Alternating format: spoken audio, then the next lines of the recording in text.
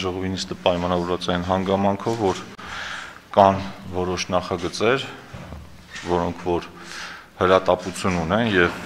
որոշների դեպքում եթե ժամկետի լրացման պատճառով, եթե մենք հիմա դա չքննարկենք, իրանք պարզապես շրջանառությունից դուրս կգան եւ կառավարության հետ խոսելով եկել ենք այն ընդհանուր հայտարարին, որ կլինի արտահերտ եւս մեկ նստաշրջան առաջիկա օրերին եւ ամեն հանձնաժողով առանձնացրել է իրեն վերաբերող հրատապ հարցերը, որպեսզի մաքրենք ու ինչը հրատապա ընդունենք։ Կոնկրետ մեր դեպքում ունենք 3 նախագիծ,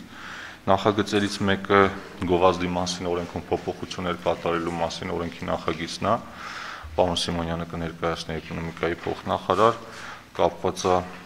կոնյակի գովազդի հետ ու խնդիրը շատ հրատապա, քանի որ ԵԱՏՄ-ում դա արդեն ընդունվում է որպես բարիեր ու դա կարա խնդիր դառնալ, այսինքն մենք հիմա պետք է օր առաջ դրա հարցը լուծենք։ Երկրորդը կհիշեք, որ մենք այստեղ քննարկում ենք պետական գույքի մասնավորեցման 2017-2020 թվականների ծրագիրը, երբ առաջարկվում էր, որ առողջապահական հիմնարկների մասնավորեցման ժամանակ այդ պրոֆիլի պահպանման պահանջը հանենք ու դա վերապահենք կառավարությանը մենք կհիշեք, որ չհամաձայնեցին, քանի որ դա նշանակում էր ազգային ժողովի դերի որոշակի թույլատում ու առաջարկեցինք, որպիսի կոմիտեն ինքը մի հատ ընդունելի լուծում կամ մեխանիզմ գտնի, որ համ իրանց ճկունությունը կապահովի, համ ազգային ժողովի դերը չի նվազի, այնպես է ստացվել, որ այդ նախագիծը, որ հետաձգվել է եւս մի անգամ, հիմա չեն կարող հետաձգենք, դա շրջանառությունից դուրս կգա։ Հիմա հեղինակները կգան, կներկայացնեն, եթե այն լուծումը, որը որ մենք ակնկալում ենք, կհասկանանք, որ այդ լուծումը գտնվել է, ընդունենք, եթե չէ, չէ, կամ ինչ որ տարբերակը գտնենք լրացուցիչ ժամանակ տալու։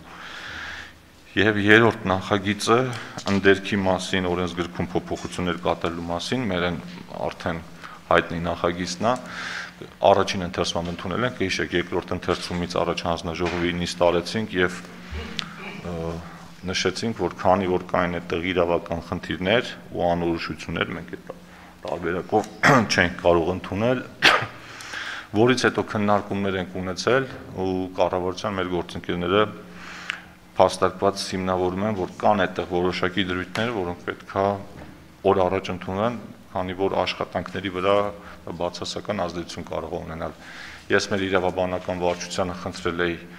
իրանք ուրբաթ շաբաթ Կիրակի օրերին ինտենսիվ աշխատել են նախարարության հետ եւ իրենց առաջարկությունները ներկայացրել են նախարարությունը այդ առաջարկների մեծ մասը ընդունել է մյուսների մասով հիմա քննարկում կունենանք ու եթե իրավական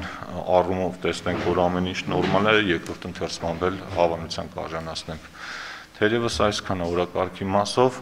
ասեմ, որ մենք ունենք այսօր նաև արտահերտ նիստ արտակարգության ռեժիմի հետ կապված, ամենայն հավանականությամբ 2-ի 3-ի կողմերը կլինի ժամը, եթե հասցնենք ավարտել հանձնաժողովի նիստը, շատ ավելի լավ, եթե չհասցնենք նիստը կշարունակենք լիագումար նիստից հետո։ Եթե օրակարգի վերաբերել հարցեր կան, խնդրեմ, եթե չի օրակարգը հաստատենք, հասնենք առաջ։ Խնդրեմ Տիկին Գալստյան։ Պարոն Թունյան, հերթականությունը ըստ կարգում դրված հերթականությունը ըստ սրա չի, քանի որ առաջին երկրորդ հարցերը իրանք ավելի արագ են լինելու, եկեք ես առաջարկում սկսենք գովազդի մասին օրենքի փոփոխությունից,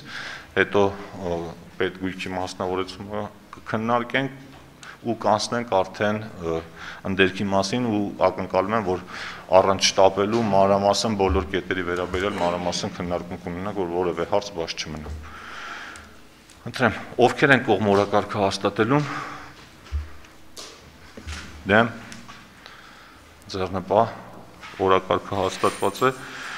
եւ այսպես քննարկում ենք Գողազդի մասին Հայաստանի Հանրապետության օրենքում փոփոխություն կատարելու մասին օրենքի նախագիծը առաջին ընթերցման ընդունելու մասին հարցը հիմ հիմնական զեկուցող էկոնոմիկայի նախարարի տեղակալ Վարոր Սիմոնյան։ Խնդրեմ, պարոն Սիմոնյան։ Շնորհակալություն, հարգելի գործընկերներ, ձեր քննարկմանն է ներկայացնում գովազդի մասին Հայաստանի Հանրապետության օրենքում փոփոխություններ կատարելու օրենքի նախագիծը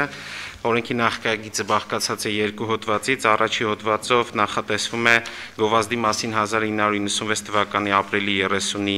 օրենքի 15-րդ հոդվածի 5-րդ մասի B ենթակետից հանել բացառությամբ տեղական արտադրության կոնյակի բառերը։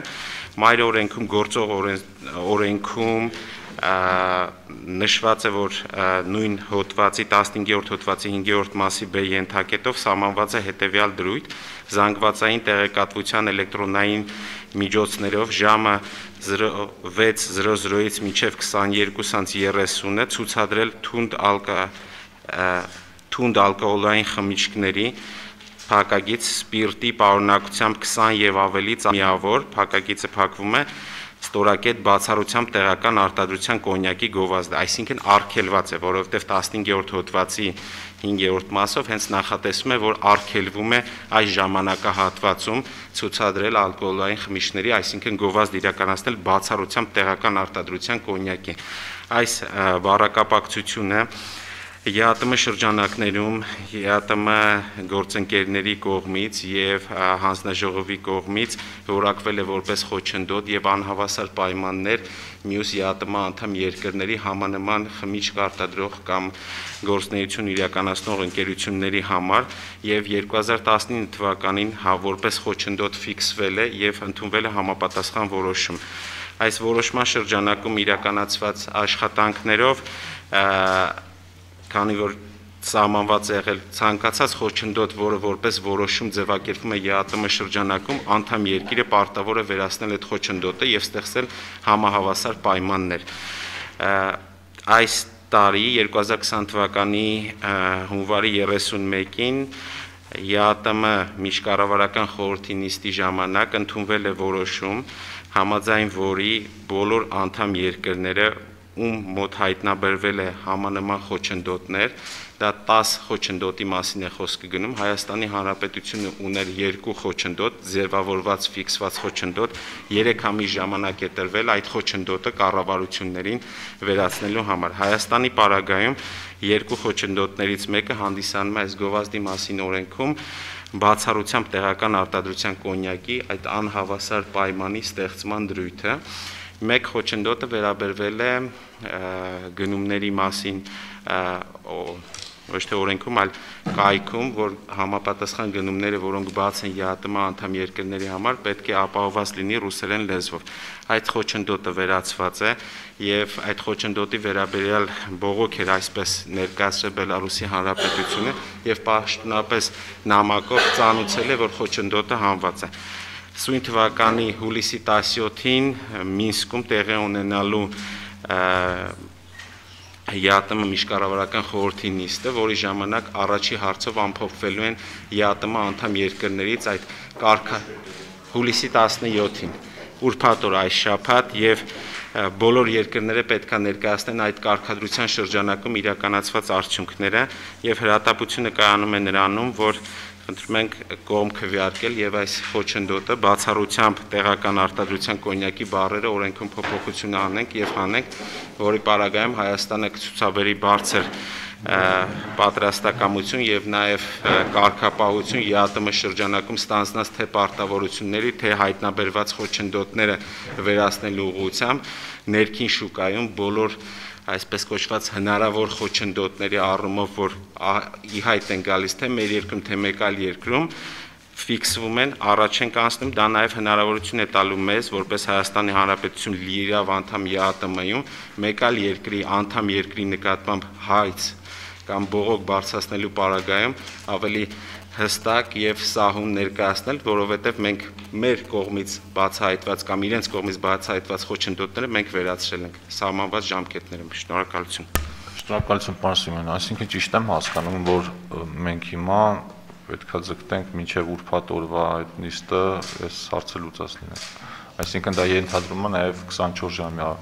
ռեժիմով հնարավորության դեպքում քննարկել։ Այո, պարոն Թունյան, խնդրում եմ ձեզ եւ հանձնաժողովին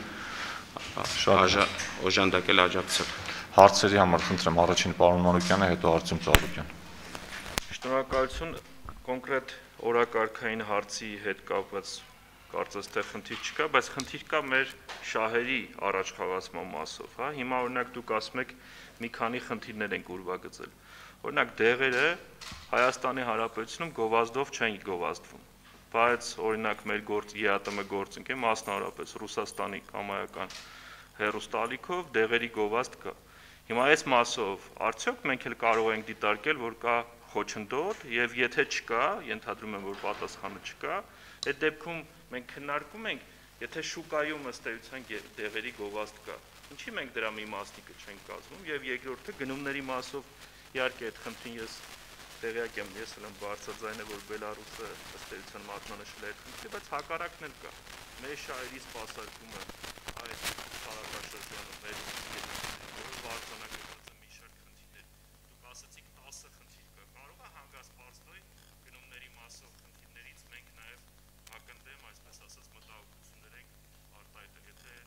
կա, խնդրում եմ դրանք ներկայացրեք։ Շնորհակալություն։ Շնորհակալություն հարցերի համար, պարոն Մանուկյան, տեսեք, եթե որևէ անդամ երկիր խնդիր է բարձրացնում ԵԱՏՄ շրջանակում եւ դա որակում է որպես խոչընդոտ, կա համապատասխան ընթացակարգ, հանձնաժողով դիտարկում է, երբ որ ապացուցված է համարում դա խոչընդոտ է, այդ ժամանակ իրավական որոշում է կայացում։ Իրավական որոշումը լինում է առաջին մակարդակը հանձնաժողովի կոլեգիայի անդամների մակարդակով, այսինքն 19 նախարար եւ կոլեգիայի նախագահ, որից հետո ինքը կարգադրությունը համարում գնում է անդամ երկրին ներկայացրեք ձեր բացատրությունը կամ արդյոք սա խոչընդոտ է թե խոչընդոտ չէ եւ ինչ աշխատանքներ պետք է անեք կամ կարող է կոնկրետ ժամկետ տան հաջորդ փուլը դա եթե որևէ աշխատանք չի իրականացում խորհրդի քննարկման հարց է դառնում։ Իսկ դրանից հետո բարձրագույն խորհուրդն է գալի, այսինքն վարչապետների մակարդակը միջկառավարական խորհուրդն է։ Միջկառավարական խորհրդի ժամանակ հստակ որոշում է կայացվում եւ հստակ ժամկետ է ֆիքսվում։ Այս պարագայում այս խնդիրը որակվել է այդպես եւ ֆիքսվել է ժամկետ։ Ձեր մյուս հարցի հետ կամ այդ 10 կպցնեմ իրար, էլի 10 խոչընդոտները դրանք այն խոչընդոտներն են եղել, որոնք մոտավորապես 3 տարի քննարկվել է ԵԱՏՄ անդամ երկրների կողմից եւ ամեն անգամ երկիրը հնարավորության չափով ներկայացրել է բացատրություն, ավելի ժամկետը երկարաձգելական որոշակի չափով աշխատանքներ է իրացրել, իրականացրել եւ այդ խոչընդոտ որպես այդպեսին չի ձևակերպվել։ Արդյունքում մենք ունեցենք ունենք մի շարք ճանապարհային քարտեզ ունենք խոչընդոտների վերացման, բայց այդ 10-ը, որոնք միջկառավարական խորհրդի նիստի, այսինքն որոշման հավելված են դարձել, դրանք էլ տեղ չունեն, այսինքն վերջնական ֆիքսված խոչընդոտ են եւ երկրների կողմից պետք է անեն։ Եվ մենք լուծումը, այսինքն պատասխանները կունենանք ուրփաթորը, թե մնացած անդամ երկրները իրանց մասով ինչ են արել եւ դա առաջի անգամ կլինի այն որոշումը, որից արդյունքում օրինակ ենթադրաբար որևէ անդամ երկիր իր մասով չի արել, խոչընդոտը չի վերացրել, դա առաջի է դեպքն է լինելու, երբ որ ԵԱՏՄ-ն պետքա որոշում կայացնի կամ ինչ սանկցիա է կիրառելու անդամ երկրի նկատմամբ, որ ֆիքսված խոչընդոտը որպես բոլոր ատյաններով անցած եւ որևէ անդամ երկիր դա չի իրականացրել չի վերացրել, այսինքն խոչընդոտը չի վերացրել։ Ինչ վերաբերում է դեղերի հետ կապված, եթե դեղերը մեր օրենքով սահմանափակված է, բայց Ռուսաստանի Դաշնության օրենքով սահմանափակված չի եւ իրանք թույլ են տալիս իրականացնում են, դա միանշանակ առաջի հայացքից դա անհավասար անհավասար պայման, այսինքն մենք չենք կարող գովազդել բայց ես պետք է ավելի շատ խորքային ուսումնասիրեմ նոր վերջնական պատասխանը տամ, կարամ ասեմ, որ դեղերի համար գործում է միասնական շուկա,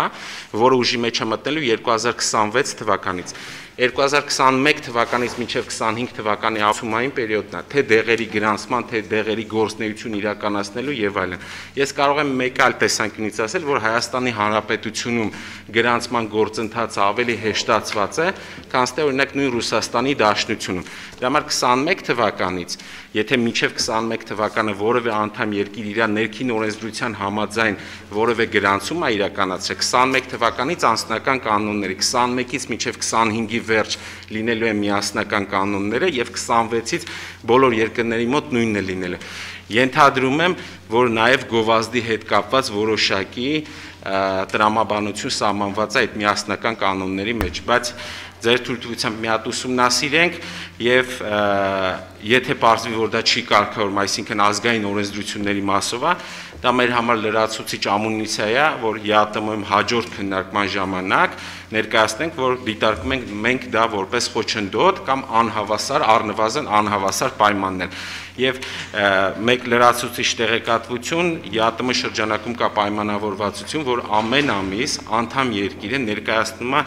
իր տնտեսության համար զգայուն կամ խոչընդոտ կամ որևէ արգելք կամ այդ պրիպյատստվա կոչվածը եւ քննարկվում է կոլեգիայի շրջանակում, դրանից հետո խորհրդի շրջանակում եւ կայացում է համապատասխան որոշում անցած ուրբաթօրը ունենք խորհրդի նիստ, խորհրդի նիստերը ընդհանուր առմամբ հարցերը բաց է, այսինքն օրակարգային հարցերը, բայց նիստը փակ ֆորմատով է իրականացում։ Այսօր այդ նիստը շարունակվելու է, որովհետև այդ նիստի հարցերի լուծում ստացած հարցերը տեղափոխվելու են միջկառավարական խորհրդի նիստ, ԵԱՏՄ, այսինքն ուրբաթօրվա նիստ։ Եվ ես առանցին ձեզ կարող եմ, այսինքն լրացուցիչ տեղեկատվություն ունենալուց հետո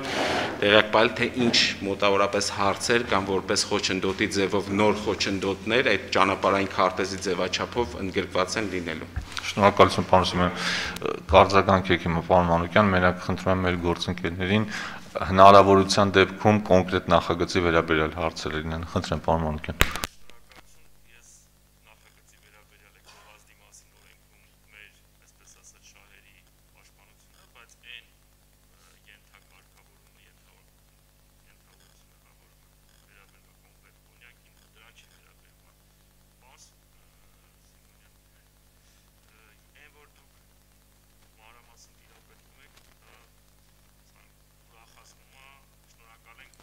մանրամասն ներկայացնում եք, բայց իմ հարցը շատ հստակ է։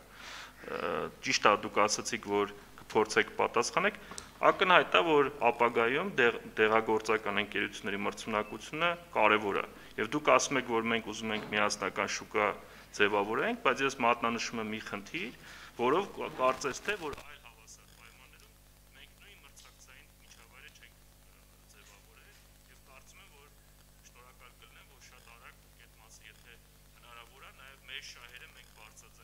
կարողանանք համարժեք մրցակցային Շնորհակալություն, պարոն Մանուկյան, թե իմ հասցեին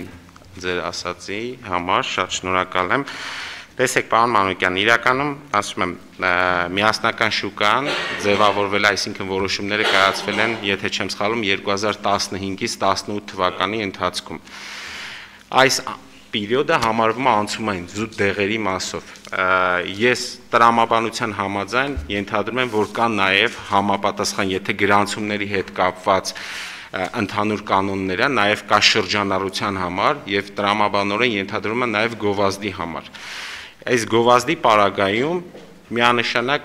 այս պահի դրությամբ ճիշտ եք անհավասար պայմանա, որովհետև եթե մեր օրենքը թույլ չի տալի մենք գովազդել եւ իրանց ազգային օրենսդրությունը թույլ է տալիս, Դա խնդիրը կայանում է մեր մասով, որ մենք պետքա գնանք այդ հարցը բարձրացնենք կամ մեր օրենքում փոփոխություն անենք, որ հավասար դառնա, որը 25 թվականից էլ չի լինի, որտեղ ընդհանուր կանոնները կլինեն եւ ես ասում եմ չեմ կարող հստակ ասել, բայց ենթադրում եմ տրամաբանորեն, որ գովազդի մասին նույնպես նույն կանոնները, եթե շրջանառության գրանցման մասին նույն կանոններն են, առնվազն մասին են նույն կանոնները, այսինքն հավասար պայմանները կլինի կամ որպես խոչընդոտ, ինչպես դուք նշում եք, պետքա ասենք ոչ միայն նաև Ռուսաստանի Դաշնության, կարող է մեկ այլ երկրում նույնպես ԵԱՏՄ անդամ, այո, կա այսպիսի բան, սահմանափակված չի հիմա, որտեվ անցումային ժամանակահատվածում են գտնվում, բայց սահմանափակված չլինելով մենք անհավասար պայմանում ենք գտնվում։ Միանշանակ ընդունելի է եւ մի հատ եթե ժամանակ կարծում եմ որ դուք կտակ այդ ժամանակը, մենք կուսումնասիրենք եւ ձեզ կներկայացնենք այդ մասով։ Շնորհակալություն։ Շնորհակալություն։ Խնդրեմ պարոն Զորուկյան։ Շնորհակալություն, պարոն Սիմոնյան։ Իմ հարցը հետեւյալն է։ Տեսեք, սահմանափակման մասով հասկանալի է, իսկ քննարկվել է արդյոք տարբերակ, որ օրինակ ոչ թե բացառություններից մեր տեղական արտադրողին հանենք, այլ ուղղակի բացառությունների մեջ ավելացնենք, ասենք ԵԱՏՄ երկրները այս տարբերակը քննարկվել է թե չէ։ Շնորհակալություն, ճիշտ ասած, այդ տարբերակը չի քննարկվել, որովհետև գովազդի մասով ինքը այսպես ալկոհոլային խմիչքը որպես գովազդել այդ նշած ժամանակահատվածից ժամը 6-ից մինչև 22-30 ժամանակահատվածը մենք մի շարք տեխնիկական կանոնակարգերով խոչընդոտներ ենք հանդես ի հայտ ենք գալու, որովհետև կա ալկոհոլային խմիչքների մասին տեխնիկական կանոնակարգ, որը նոր պետք է ուժի մեջ մտնի եւ այնտեղ լիք տեսված թե ալկոհոլային խմիչքները ԵԱՏՄ շրջանակում ինչպիսի անվտանգության կանոններ պետք է ունենան, ինչպիսի ներքին շուկայում շրջանառության կանոններ պետք է ունենան եւ այս պարագայում իրականում խնդիրը դրվել է այնպես ոչ թե բոլորին հավասար ոնց որ թողենք գովազդեն եւ հավասար պայմանները կունենան, այլ գովազդը սենց-նենց լինում է, բայց ժամանակահատվածից այն կողմ, այսինքն 22-ից 30-ից այն կողմ, որովհետեւ մեր օրենսդրությամբ մենք ասում ենք արգելված է եւ զուտ 96 թվականի ընդունված օրենքով արտոնություն ենք տվել հայկական կոնյակին։ Կարծում եմ, որ սա այդքան էլ ոնց ասեմ մրցակցային առավելություն չի, որովհետև բոլորն էլ գիտեն, թե որն է հայկական կոնյակը, առավել եւս մեր շուկայի համար եւ գովազդով մենք լրացուցիչ մրցակցային առավելություն չենք տալի։ Երբ որ մենք այս դրույթը հանում ենք, այսինքն հատվածի մեջ 22-ից 30-ից հետո մինչև առավոտյան 6-ը ըստ դրամաբանության, որը օրենքը թույլ է տալիս, այսինքն այդտեղ պետք է իրանք են մենք չեմ կարծում որ մեր արտադրողները մեծ գովազդի վրա արդեն գումար պետքա ծախսեն, որ մրցակցային պայման հայկական շուկայում ձևավորելու համար, որովհետև սա մեր ներքին օրենսդրությունն է։ Իսկ ձեր հստակ պատասխանեմ չի քննարկվել այդ տարբերակը, որ 0 առավոտյան 6-ից մինչև 22-30 ԵԱՏՄ մնացած անդամներին տանք այդ համահավասարության սկզբունքը, որովհետև եթե այդպեսի մոտեցում ձևավորենք, մենք խնդրի առաջ ենք կանգնելու ԱՀԿ անդամ երկրներին, որովհետև ԱՀԿ լինելով ԱՀԿ անդամ երկիր, սա հիմնական սկզբունքներից մեկն է national treatment, ազգային մոտեցումը, որ բոլոր անդամ երկրներին պետքա տանք համահավասար մոտեցում, մեր տեղական արտադրողին։ Իրականում օրենքը 96 թվականին է ընդունվել, Հայաստան ԱՀԿ լիիրավ անդամ է դարձել 2003 թվականից, բայց խորքային օրենսդրության կարծում եմ վերլուծություն ԱՀԿ-ի կողմից չի իրականացվել կամ որևէ անդամ երկրով, եթե իրականացվեր այս դրույթը ԱՀԿ որևէ անդամ երկրից ԱՀԿ շրջանակներում կբարձրացվեր որպես ազգային մոտեցման խախտում։ Մեկ բան Սորոկյան։ Խնդրեմ պարոն Սողոմոնյան։ Շնորհակալություն Շնորհակալություն պարոն Սիմոնյան, ըստ նախագծի այս փոփոխությունները ուժի մեջ պետք է մտնեն հրապարակումից հետո 10-օրյա ժամկետում, բայց հաշվի առնելով այն հանգամանքը, որ այս փոփոխությունը ազդեցի շուկայի վրա եւ կան գործող պայմանագրեր, չէ կարծում կարող ենք ուժի մեջ մտնել այլ ժամկետ սահմանենք, կարող ենք այդ փոփոխությունը իրականացնել ենք եւ երբ որ այդ քննարկումները լինեն, արդեն մենք քայլ կատարել ենք եւ կարծում եմ մենք հանձնաժողովում խնդիր չէինք ունենա ԵԱՏՄ հանձնաժողովում եւ ճիշտ կլիներ որ 6 ամսյա ժամկետ կտայինք, որպեսզի բիզնեսը համապատասխան քայլեր իրականացնել հանկարծակի ոնց որ ասես փոփոխությունների հանկարծակի բան չաներ։ Շնորհակալ Շնորհակալություն հարցի համար։ Իրականում 2019 թվականի, եթե չեմ սխալվում, դեռ փետրվարի փետրվար ամսին էր որոշում կայացվել, որ մենք օգոստոսի 8-ին 2019 թվականին այս որպես այսպեսին խոչընդոտ, այս փոփոխությունը պետք է իրական պետք է իրականացված լինեինք բայց սեպտեմբերի խորհրդի նիստի ժամանակ եւս մեկ անգամ լրացուցիչ քննարկում եւ այդ բոլոր փաստարկները ի հայտ բերելով ժամկետը տեղափոխվեց նոեմբեր ամիս, նոեմբերից տեղափոխվեց դեկտեմբեր եւ հունվարի 31-ին, այսինքն այդ բոլոր հնարավոր տարբերակները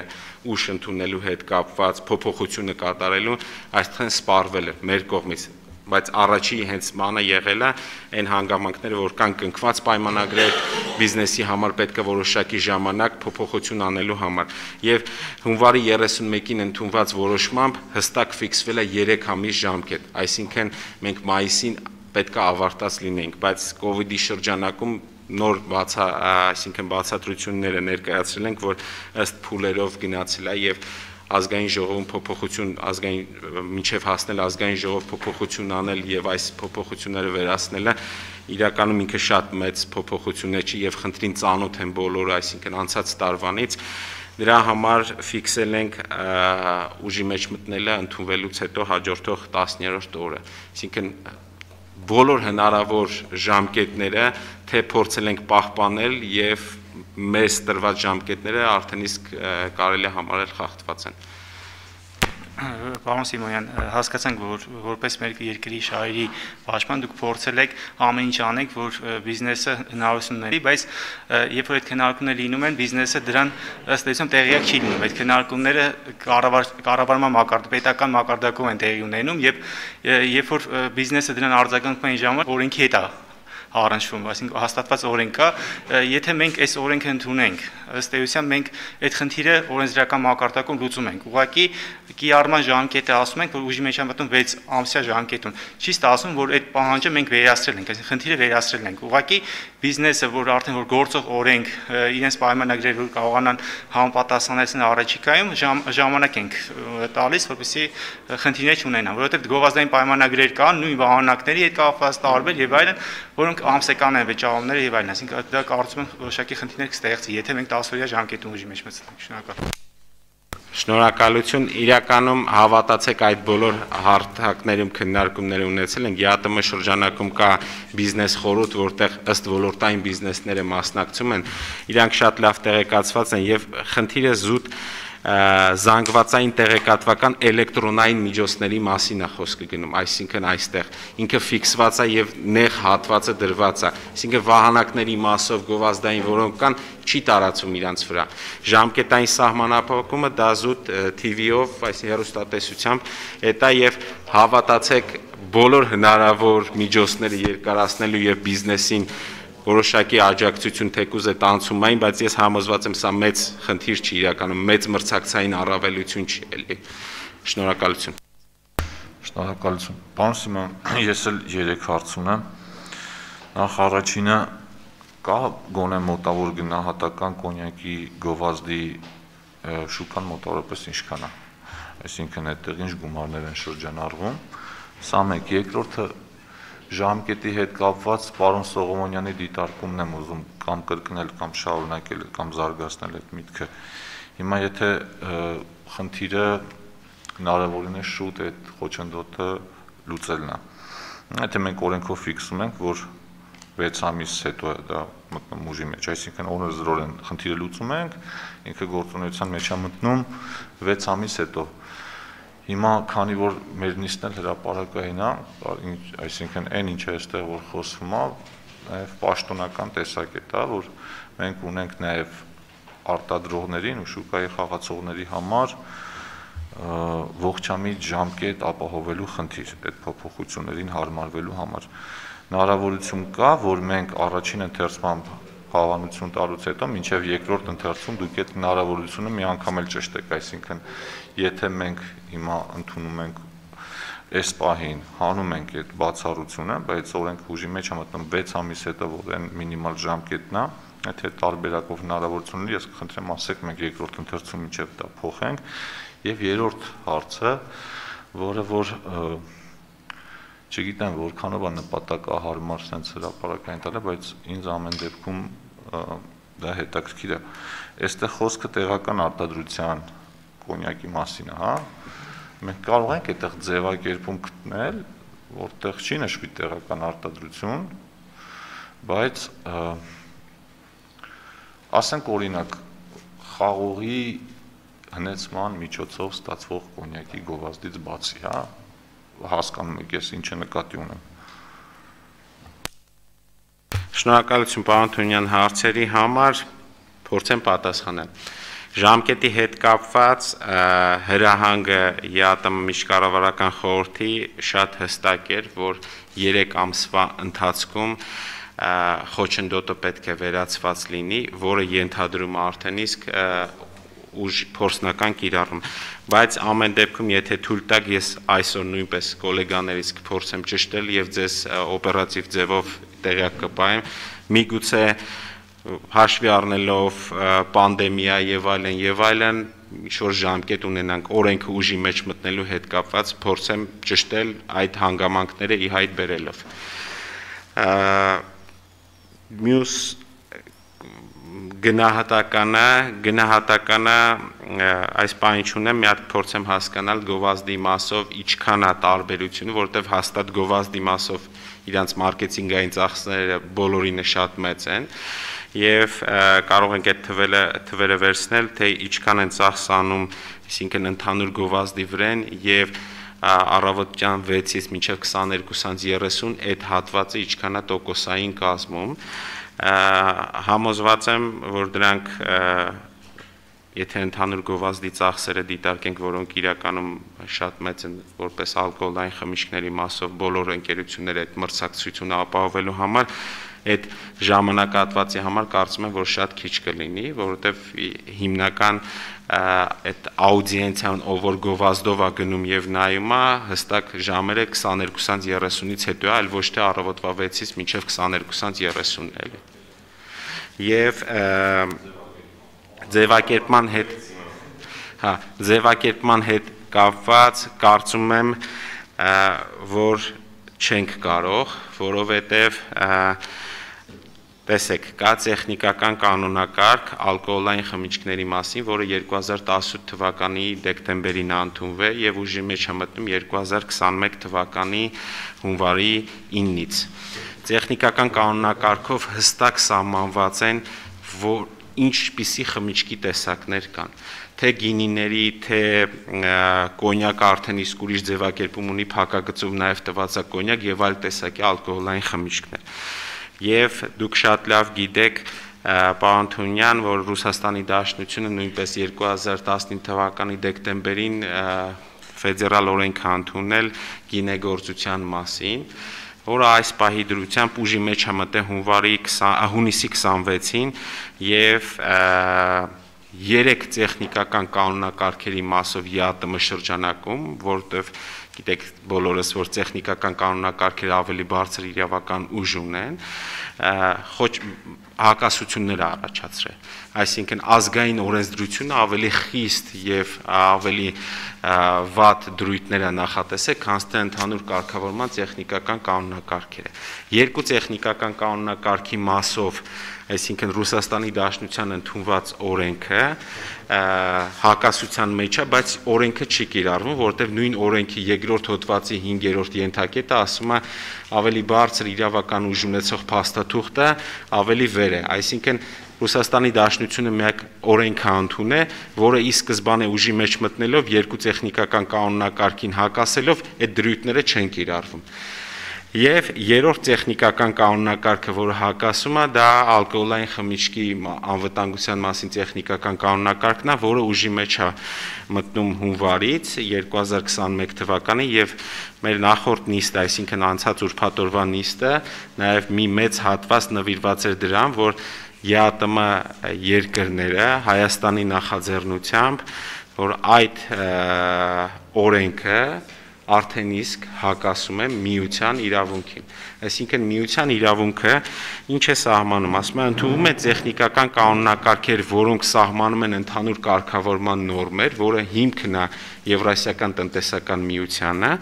բայց անդամ երկրները կարող են ընդունել ազգային օրենսդրություններ, որոնք գտնվում են այդ շրջանակի մեջ։ Հիմա այդ շրջանակից դուրս դա հակասություն է այդ շրջանակից դուրս դա խոչընդոտ է Պարզա, մենք բոլոր ջանքերը կկիրառենք, որ այս 6 ամիս ժամանակահատվածը, որ օրենք ուժի մեջ մտել եւ ցեղ կանոնակարգը դեռ նոր պետքա ուժի մեջ մտնի, որոշակի խոչընդոտ չառաջացնի մեր արտահանումների մասով, հենց խնդիրը հենց գինիների, մրգային գինիներ այդ նոր ձևակերպումների մասին են, բայց այդ նախաձեռնությունը իրականացնելով կարծում եմ գրեթե անհնար կլինի մենք սրա մեջ փոփոխություն այդ ձևակերպում անել, որովհետև Կներեք, դուք ասացիք, որ հարցը ստեղ քննարկելուց, բայց ասեմ մեր բանակցային պոզիցիան, այսինքն ահագին կթուլանանք։ Մենք չենք կարող պաշտպանել այսքանը։ Շնորհակալություն, պարոն Սիմոյան։ Եվ արձագանքի իրավունքով վերջին հարցն էլ տամ, հետո կանցնենք մտքերի փոխ հարց ունեք, պարոն Պետրոսյան դուք։ Հա, կանցնենք մտքերի փոխանակությանը, բայց ես էլ չեղվեմ նախապես ներողություն խնդրելու, խնդրելով ուզում եմ հասկանալ, մենք ընդունեցինք ծխախոտի դեմ պայքարի այն մեծ օրենսդրական փաթեթը, որտեղ նույնպես որոշակի հակասություններ կային ԵԱՏՄ տեղ կանոնակարգերի հետ։ Ուզում հասկանալ, այդ առումով մենք ԵԱՏՄ-ից որևէ դիրքորոշում ունենք ու մենք այն ժամանակ հայտարարել ենք, որ օրենք ընդունում ենք, հասկանալով, որ այդտեղ կան խնդիրներ, ու ինչև է դրույթների ուժի մեջ մտնելը մենք պետքա փոփոխություններ կատարենք, ինչը եւ անելու ենք միանշանակ բոլոր առումներով։ Ես սա ուզում եմ որպես հրաապարական մեսիջ գնա համ որ համապատասխան խաղացողներին շուկայի, համ փորձագետներին, համ պետական կառույցներին։ Բայց այստեղ տեսեք դուք ինչ ասեցիք, որ կարող են ընդունվել ազգային մակարդակով օրենքներ, որոնք տեղ կանոնակարգերի շրջանակներում են։ Այն ժամանակ մենք օրինակ որ միասնական տուփերի պահանջը ընդունում ենք, հիմնավորումը հետեւյալն էր, որ միևնույնն է դա ուժի մեջ է մտնելու 2024 թվականին, բայց ստացվում է, որ մենք այսօր ընդունել ենք մի բան, որը որ հակասության թեկուզ որ ուժ մտնելով ուժի մեջ, հակասության մեջ է գործող տեղ կանոնակարգերին։ Նախ խնդրում եմ այս պահին, եթե որևէ նորություն կա այդ մասով արձագանք կամ չգիտեմ ինչ, մեզ տեղյակ բայեք, որ մենք մեր գործողություններում հասկանանք ինչ ինչ արագությամբ ենք առաջարժվելու։ Շնորհակալություն հարցի համար, պարոն Թունյան, իրականում շատ բարձ բարդ հարց եք տվել, բայց որի պատասխանը կա, ուղղակի ես կարող եմ քիչ ամփորձ լինեմ, որ շատ մանրամասն ասեմ, բայց կփորձեմ ոչ մանրամասն ասեմ։ Այո, իհարկե արձագանք կա, որովհետև կառույցի փիլիսոփայությունն է խախտվում եւ անդամ երկրի իրավունքն է խախտվում, երբ որ ընդհանուր հիմքերից դրված որոշակի շեղումներ է լինում։ Այսինքն ընդունված օրենքը ծխախոտի հետ կապված փետրվարին, եթե չեմ սխալվում, որ ընդունվել էր, անցած տարի ես Եվրասիական հանձնաժողովի այստեղ քննարկման ժամանակ զուտ մեջ կբերեմ իմ ելույթը, որ այո, կան տեխնիկական կարգավորումների հետ կապված որոշակի խնդիր ունի օրենքը եւ միգուցե ճիշտ կլինի սпасենք որոշակի ձևակերպումներ տեխնիկական կարգավորումներով ունենանք կամ որը որ կա արդեն իսկ կարգավորված է թեկուզ նաև եւ ուժի մեջ մտած չի այդ նույն ձևակերպումները դնենք այլապես դուրս է գալիս մենք օրենսդրական նախաձեռնություն ենք անում եւ ի սկզբանե իմանալով որ դա հակասում է թեկուզ նաեւ ուժի մեջ դեռ չի մտա եւ արձագանքը եղել է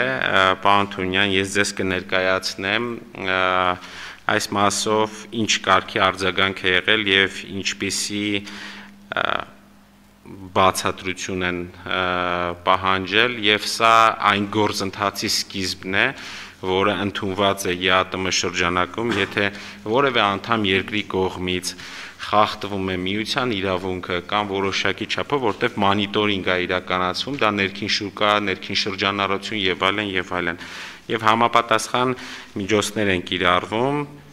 այսինքն առաջին արձագանք նախ բացատրություն են ուզում ինչու է այսպես եւ որն է նպատակը եղել եւ դա ըստ սահմանված ընթացակարգի ժամկետ կտրվի թեկուզ եւ նաեւ միջև օրենքը ուժի մեջ չի մտել կառաջարկեն կասեն որ վերացնել այդ եթե տեսեք օրինակ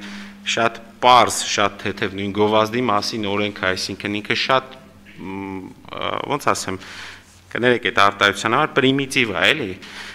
բացառությամբ տեղական արտադրության կոնյակի, այսինքն ինքը որպես այդպեսին տենց լուրջ խոչընդոտ չի կարա, բայց ինքը իրականում անհավասար պայման է, օրենքի տառին հակասություն է։ Հիմա այս պարագայում կարծում եմ, որ տեղ պետք է ձեր եթե ձեր հանձնաժողովն է նախաձեռնվի համապատասխան կամ քննարկում եւ այդ փոփոխությունները, որովհետեւ մոտ ապագայում արդեն իսկ ոչ թե նախազգուշացման կամ հարցադրման ձևով, սա կարող է ձևակերպվել որպես հստակ պահանջ եւ մյուս մեր գործընթացներում անկեղծ ասած մեր բանակցային դիրքորոշումը, պոզիցիաները ավելի թույլ կլինեն, եթե մենք մի օրենքի մասին ենք հիմա խոսում խաղաղագործության Ռուսաստանի Դաշնությանն ենք պահանջ ներկայացնում, որ դուք ընդունել եք մի բան, որը ի սկզբանե հակասել է երեք տեխնիկական կանոնակարգին եւ չի կիրառվում այդ դրույթները, բայց մեկն է սկսի չկիրառվել հունվար ամսից, կարծում եմ, որ մենք համանման պարագայում ենք լինել խնդիրների Շնորհակալություն, պարոն Սիմոնյան։ Ես հենց դրա համար էլ հարցը տալիս էի, որ վաղը մյուս օր այդ բանակցային դիրքերը հանկարծ չթուլանան ու այդ նախաձեռնությունը մենք ի սկզբանե ասել ենք, հիմա էլ հաստատում ենք, որ ցուցաբերելու ենք ու շատ շուտ ու կխնդրեմ նաև այդ հարցում ձեր աջակցությունը, որպես ԵԱՏՄ-ի մասը համակարգող փոխնախարար նախապատրաստել մինչև այդ ամբողջ տեղեկատվությունը, որ մասով մենք ունենք խնդիրներ ու ինչ լուծումներ կան ու միասին խնդր դա ընդհանրապես ուղղություններից մեկն է, բայց քանի որ դուք եք հիմա այստեղ ներկա, այս մասը ձեզ հետ շնորհակալություն ձեր արձագանքի համար, մենք կարող ենք անցնել մտքերի փոխանակությանը։ Խնդրեմ, արգելի գործընկերներ, ցանկություն ունեցողներ կան, խնդրեմ պարոն Խաչատրյան։ Շնորհակալ եմ։ Ես կփորձեմ կարճ արտահայտվել։ Ընդհանուր առմամբ իհարկե առարկություն մեծ հաշվով չկա օրենքի մասով, որովհետև սա ոչ սակագնային կարգավորում է, որը անհավասար պայման է ապահովում, բայց ես սրա մասին չեմ ուզում խոսել։ Ուզում եմ շարունակել հենց պարոն Մանուկյանի ասած խոսքը։ Մենք խնդիր ունենք մեր շահերն ու իրավունքները նույն հաջողությամբ եւ նույն երանդով պաշտպանելու այնտեղ եւ եթե ընդունում ենք այդտեղ մեծ հաճույքով երանդով այն օրենքները, որոնք անհրաժեշտ են եւ մեր ստանձնած պարտավորությունների շրջանակներում են, մենք պիտի կարողանանք նույն երանդով պաշտպանել մեր տնտեսարողների շահերը դրսում, իսկ դրանք բազմաթիվ են, պարոն Սիմոնյան Մենք շատ երկար ցես հետ նաև քննարկել ենք նմանատիպ հարցեր, խոչընդոտներ ԵԱՏՄ շրջանակներում եւ միջազգային հարթակներում բազմիցս հնչեցրել ենք այդ մասին, այդ խոչընդոտների բազմաթիվ են, ես հիմա չեմ ուզում դրան մասին հիմա խոսել, որտեղ կթվարկեմ կես ժամից ավել երևի։ Այսինքն եւ մեծ առաջ խաղացում այնտեղ կարծես թե մենք չունենք եւ վրթովմունքս այնտեղ է որ լավ մենք սենց անում ենք ինչու չենք կարողանում նույն երանդով պաշտպանել այնտեղ եւ առաջ խաղացում ունենալ այնտեղ որտեղ մեր տնտեսարողները ոչ պակաս կարիք ունեն այդ հավասար պայմանների, ընդ որում իրենց օրինական իրավունքների եւ ԵԱՏՄ համաձայնագրով նախատեսված իրենց իրավունքները իրացնելու մասին է խոսքը։ Շնորհակալ եմ։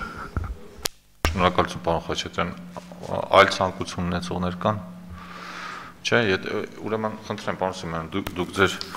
ամփոփիչ ելույթը ունեցեք, հետո քվեարկության դնենք։ Եզրափակիչ ելույթով խնդրում եմ բոլոր գործընկերներին, արգելի պատգամավորներ, կողմ քվեարկեք եւ հրատապության ռեժիմով մինչեւ ամսի 17-ը մենք փորձենք հասկան ընդունենք օրենքը ես կփորձեմ ճշտել պարոն Թունյանի ասածը ժամկետի հետ կապված եւ հիմնավորելով իհարկե թվերը նույնպես եւ մի փոքր արձագանք, եթե կարելի է պարոն Խաչատրյան ասում եք լիովին ընդունելի է նաեւ ձեր եւ պարոն Մանուկյանի ասածը, ուղղակի ասեմ բոլոր խնդիրները, որոնք ի հայտ են բերվում մեր գործընկերների, այսինքն մեր գործարար հատվածի ներկայացուցիչների կողմից, ուսումնասիրում են եւ առաջ են տարվում ամենամեծ մեր խոչընդոտներից, որը միշտ բարձրաձանվել է այստեղ եւ այլ տեղերում նույնպես օրինակի համար կապված Լարսի անցակետի հետ կապված եւ մեր հիմնական, այսինքն ինչ խնդիրներ ենք ունեցել, տեղեկատվության կարգով ասեմ, որ ԵԱՏՄ զարգացման ռազմավարություն 2020-25 թվականի, որը ընդունվել է եւ հստակ մեջեկետ է սահմանվել նվիրված Լարսի խնդրին եւ ոչ միայն Լարս, այլ նաեւ այն երկիրը, որը ունի ընդհանուր ֆիզիկական սահման եւ ինչպես է իրականացվելու թողունակությունը եւ ապրանքների տեղաշարժը ԵԱՏՄ սահմաններում։ Բացի դրանից առանցին հանձնարարական է եղել հանձնաժողովից ԵԱՏՄ անդամ երկրներին, որ մինչև օգոստոսի 1-ը, մինչև այսինքն որոշակի աշխատանքներ իրականացվի եւ լուծումները թե թվային են պլոմբաների մասով եւ այլ խնդիրները վերհանեն թե ինչ այլ տեխնիկական նաեւ խոչընդոտներ նաեւ ֆիզիկական խոչընդոտից բացի որտեվ գիտեք այդ թողունակությունը ֆիզիկապես էլ է նաև պայմանավորված ֆիզիկական այսինքն իր հագեցվածությունը եւ այս գալիք ուրփաթորը վերջնականորեն կհրապարակվի այն բարձր մակարդակի աշխատանքային խումբը, որը ստեղծվել է ԵԱՏՄ անդամ երկրներում, որի նախագահն է նաև ԵԱՏՄ նախագահը, որի առաջի, այսինքն աշխատանքային խմբը իրականացնելու իր աշխատանքները ԵԱՏՄ շրջանակներում այն կրիտիկական նշանակություն զգայուն նշանակություն ունեցող խոչընդոտների, որոնք իսկ առանձնացված են եւ համար մեկը դա մեր համար ապրանքների ազատ տեղաշարժն է, մասնավորապես Լարսի մասով արտահանումը իրականացնելը։ այս հարցերի կապակցությամբ նույնպես ես ձեզ պատրաստ եմ լրացուցիչ կամ քննարկում եթե լինի կամ առանցին ներկայացնեմ տեղեկատվություն։ Եվս մեկ անգամ խնդրում եմ հարգելի գործընկերներ կողմ քվեարկեք այս նախաձեռնությանը։ Շնորհակալություն։ Շնորհակալություն, պարոն Սիմոն։ Մենք հիմա ըստ էության երկու քվեարկություն կանենք։ Առաջին քվեարկությամբ կորոշենք առաջին ընթերցման հավանության տալու մասին հարցը դրական եզրակացություն ստանալուց հետո նաև 20 երկրորդ ընթերցումը 24 ժամյա ռեժիմով անցկացնելու մասին հարցը եւ Արսիմյան մեր իրավաբանական վարչությունը տեխնիկական բնույթի որոշ առաջարկություններ ունի ասենք Հայաստանի Հանրապետության բարերը երկրորդ անգամ կրկնվող կամ ստորակետների հետ կապված կխնդրեմ մինչև երկրորդ ընթերցում այդ լրամշակումներն էլ անեք։ Եվ այսպես ովքեր են կողմ գովազդի մասին օրենքում փոփոխություն կատարելու մասին օրենքի նախագիծը առաջին ընթերցման փաստադրելու մասին հարցին կող դեմ ձեռնպահ միաձայն ընդունված է եւ ովքեր են կող նշված օրենքի երկրորդ ընթերցումը 24 ժամյա ռեժիմով կազմակերպելու առաջարկությանը կող դեմ ձեռնպահ Շնորհակալություն, այս առաջարկն էլ ընդունված հարակից զեկուցող այս հարցով մեր նոր падգամավոր, այսինքն նոր չէ, վերադարձած падգամավորներին ողջունելով հանդերձ, եթե դեմ չեն, շատ լավ, որպես առաջին վերա։ Այ դե մեր շարքերը ոնց որ ամբողջությամբ վերականգնվեցին, 3 հոգի մեր հանձնաժողում են բարի գալուս տարգելի գործընկերներ եւ հարակից եկուցող Հայկ Գևորքյան հարց փակված է, շնորհակալություն պարոն Սիմոնյան։ Մենք շնորհակալ քննարկում ենք այժմ պետական գույքի մասնավորեցման 2017-2020 թվականների ծրագրի մասին Հայաստանի Հանրապետության օրենքում փոփոխություններ կատարելու մասին օրենքի նախագիծը հիմնական զեկուցողը Պետգույքի կառավարման կոմիտեի նախագահ Նարեկ Բաբայանն է, ես մինչև պարոն Բաբայանի խոսքը փոխանցել է, նշեմ, որ ինձ ասացին, որ արտահերտ նիստը տեղի ունենալու ժամը 2-ին, ըստ այդմ մենք երևի 13:45 կավարտենք ու մնացած մասը, եթե չհասցնենք, կշարունակենք արդեն արտահերտ նիստի ավարտից հետո։ Ես հիշեցնեմ, որ այս նախագիծը պարոն Բաբայանը չերեկես մի թեթև սրա մասին խոսեցի։ Սա առողջապահական հիմնարկների մասնավորեցմանը վերաբերող նախագիծներ եւ առաջարկվում էր, որ պրոֆիլի պահպանման որոշումը վերապահվի կառավարությանը հիմիկվա գործող կարգով պրոֆիլը պահպանել առողջապահական հիմնարկների օրենքով սահմանված պարտադիր պահանջ եւ կառավարությանը ճկունություն հաղորդելու համար առաջարկում էր այդ դրույթը փոխանցել իրենց մենք կհիշեք որ քննարկեցինք եւ առաջարկեցինք մի քիչ ավելի փոխզիջումային ու ճկուն լուծում գտնել հիմա եթե պարոն Բաբայանը կներկայացնի այդ լուծումը կամ այստեղ նիստի ընթացքում այդ լուծումը կգտնվի շատ ավելի լավ եթե ոչ եթե լրացուցիչ ժամանակ է պետք պարոն Բաբայան մենք կարող ենք տեխնիկապես հետեւյալ միջոցին դիմել, մենք քանի որ նախագիծը հետաձգելու հնարավորություն չունենք, մենք կարող ենք քվեարկությունը հետաձգել մինչև 2 ամիս ժամկետով այդ ընթացքում այդ դրա վրա էլի կաշխատենք, որ նախագիծը շրջանառությունից դուրս չգա։ Այսինքն սա կարող եք համարել գործընկերային ժեստ ազգային ժողովից դեպի կառավարությունը։ Խնդրեմ, պարոն Ռոբերտ։ Շատ շնորհակալություն, պարոն Թունյան, հարգելի գործընկերներ, հաշվի առնելով ժամանակի սղությունը ես ուղակի ներկայացնեմ նախորդ մեր քննարկումից հետո տեղի ունեցած զարգացումները ուրեմն նախ նշեմ որ ընկերությունները որոնց մասին խոսքը գնում այսինքն առողջապահական ոլորտի ընկերությունները Պետգույքի կառավարման տիրապետության տակ 5-ն են։ Դրանք են կուրորտաբանության եւ ֆիզիկական բժշկության ինստիտուտը, նևրոզների կլինիկա ՓԲ, վնասվածքաբանության եւ օրթոպեդի օրթոպեդիայի գիտական կենտրոնը, ռադիոիզոտոպների արտադրության կենտրոնը եւ հանրապետական անձավաբուժական կենտրոնը նշվածներից այս միջակայքում քննարկումների նևրոզների կլինիկայի մասնավորեցման ինչպես մասնավորեցման հետ կապված մրցույթ հատեղի ունեցել տեղի ունեցել, բայց հայտեր չեն եղել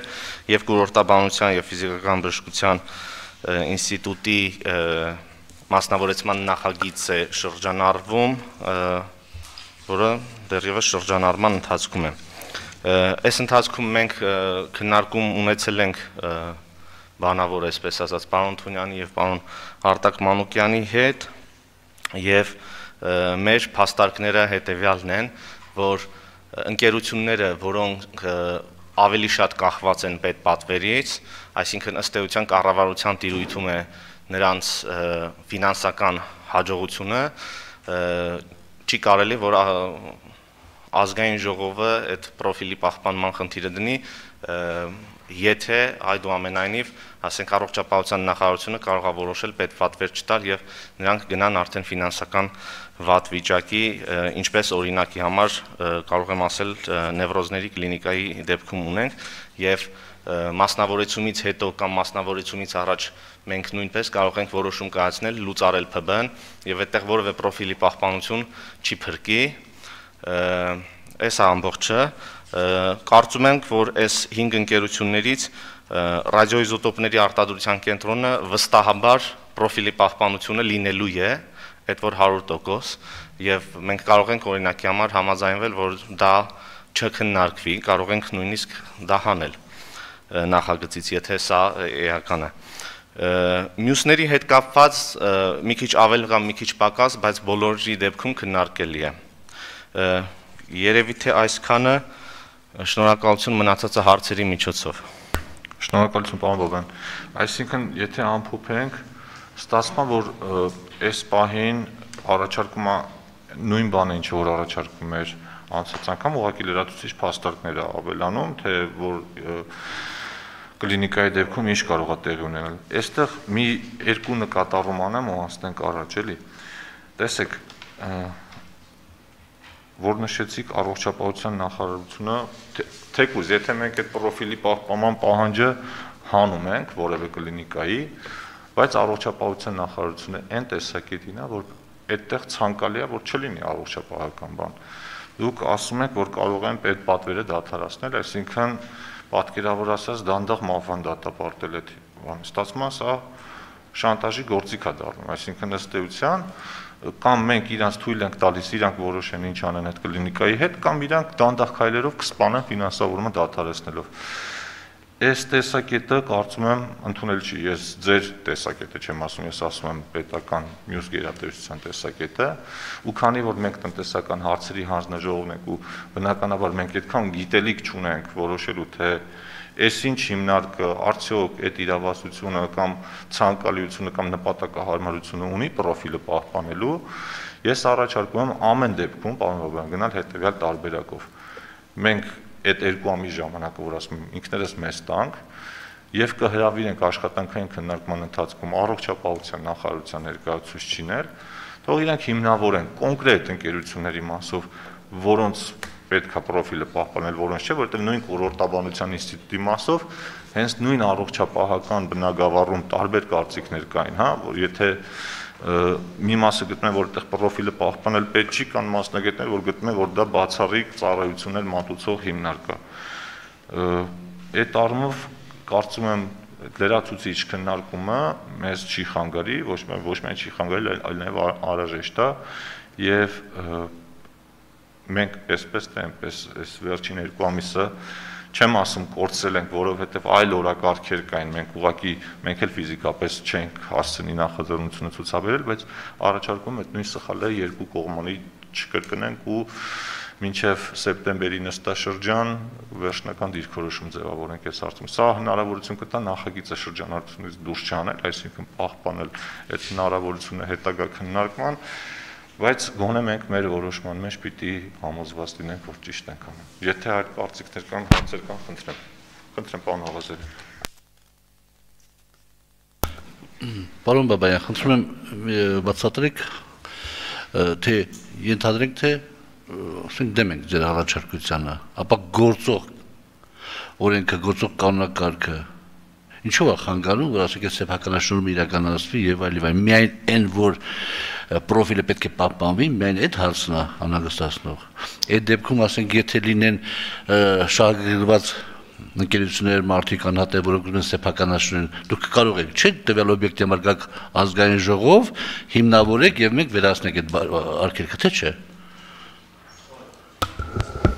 Այսինքն խոսքը առանցին առանցին ամեն մի օբյեկտի մասին է։ Թե քանի որ ընդամենը 5-ներ, որից մեկի մասին առաջարկում ենք չխոսել, այսինքն պրոֆիլի պահպանությունը թույլ տա, պահպանել, այսինքն 4-ի մասին է ըստեյության խոսքը, նպատակահարմար էինք համարում ամբողջական փաթեթով այս հարցը քննարկել եւ ասեցի այդ 4-ից օրինակի համար մեկը, երկուսը հիմա լուրջ խնդիրներ ունենա ֆինանսական եւ եթե պետ պատվերել չեն ստանալու նպատակահարմար կլինի լուծարելը, որովհետեւ հակառակ դեպքում որպես այդ ՓԲ-ների լիազոր որպես պետգույքի կառավարման ենթակայության ՓԲ-ներ, մենք պարտավոր ենք կառավարել այնպես, որ ֆինանսական վիճակը չվատթարանա մեկ եթե կարելի մի ավելացում էլի նախ ներկայինամ Կոստանյան Վարդան պարոն Բաբայանի տեղակալն եմ պարոն Աղազարյան նախապես հայտնի չի գնորդը այսինքն մենք մրցույթ ենք անում եւ տեղյակ չենք գնորդը կոնկրետ ինչ պահանջներ ինքը կարող է մեզ ուղակի ասի իրան հետարկում է թե չէ հետարկում ուղակի մենք ուզում ենք մրցույթային տարբերակի մեջ պրոֆիլի պահպանում ընդհանրապես չգրենք այսինքն եթե գալիս են ընկերությունը ովքեր հաղթող են ճանաչվում եւ ուզում են պրոֆիլը պահպանեն իրան կարող են պրոֆիլը պահպանեն իսկ կան ընկերությունը ովքեր որ հաղթող է ճանաչվում բայց չի ուզում պրոֆիլը պահպանի այսինքն զուտ է դա խնդիրը նախապես հայտնի չի գնորդը որ կոնկրետ իր այդ բանակցենք իսկ որ համ համ տարբերություն չքննավոր։ Մեկ էլ մի դիտարկում էլի կներեք, այս ընդհանուր ցանկի մեջ ի սկզբանե 47 ընկերություններ են եղել եւ միայն առողջապահական ընկերությունների մոտ է դրված պրոֆիլի պահպանում։ Իսկ եթե նույն տրամվայցում շարժենք, պետք է բոլոր ընկերությունների հետ կապված նույն խնդիրը դրվեր։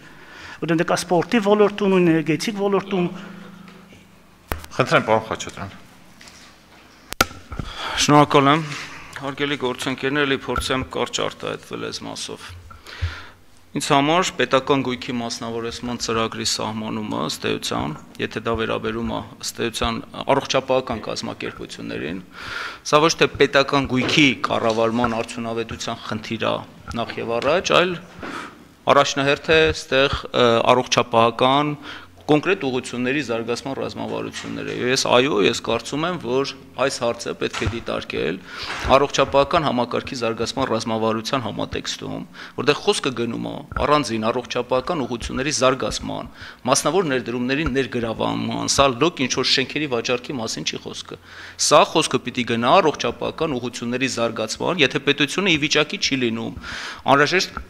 ծավալով ներդրումներ ապահովել այս ուղությամբ եւ անհրաժեշտություն կա մասնավոր ներդրումների պետքա մշակել եւ դիտարկել այդ համատեքստում եւ ես կարծում եմ պարոն Թունյան, որ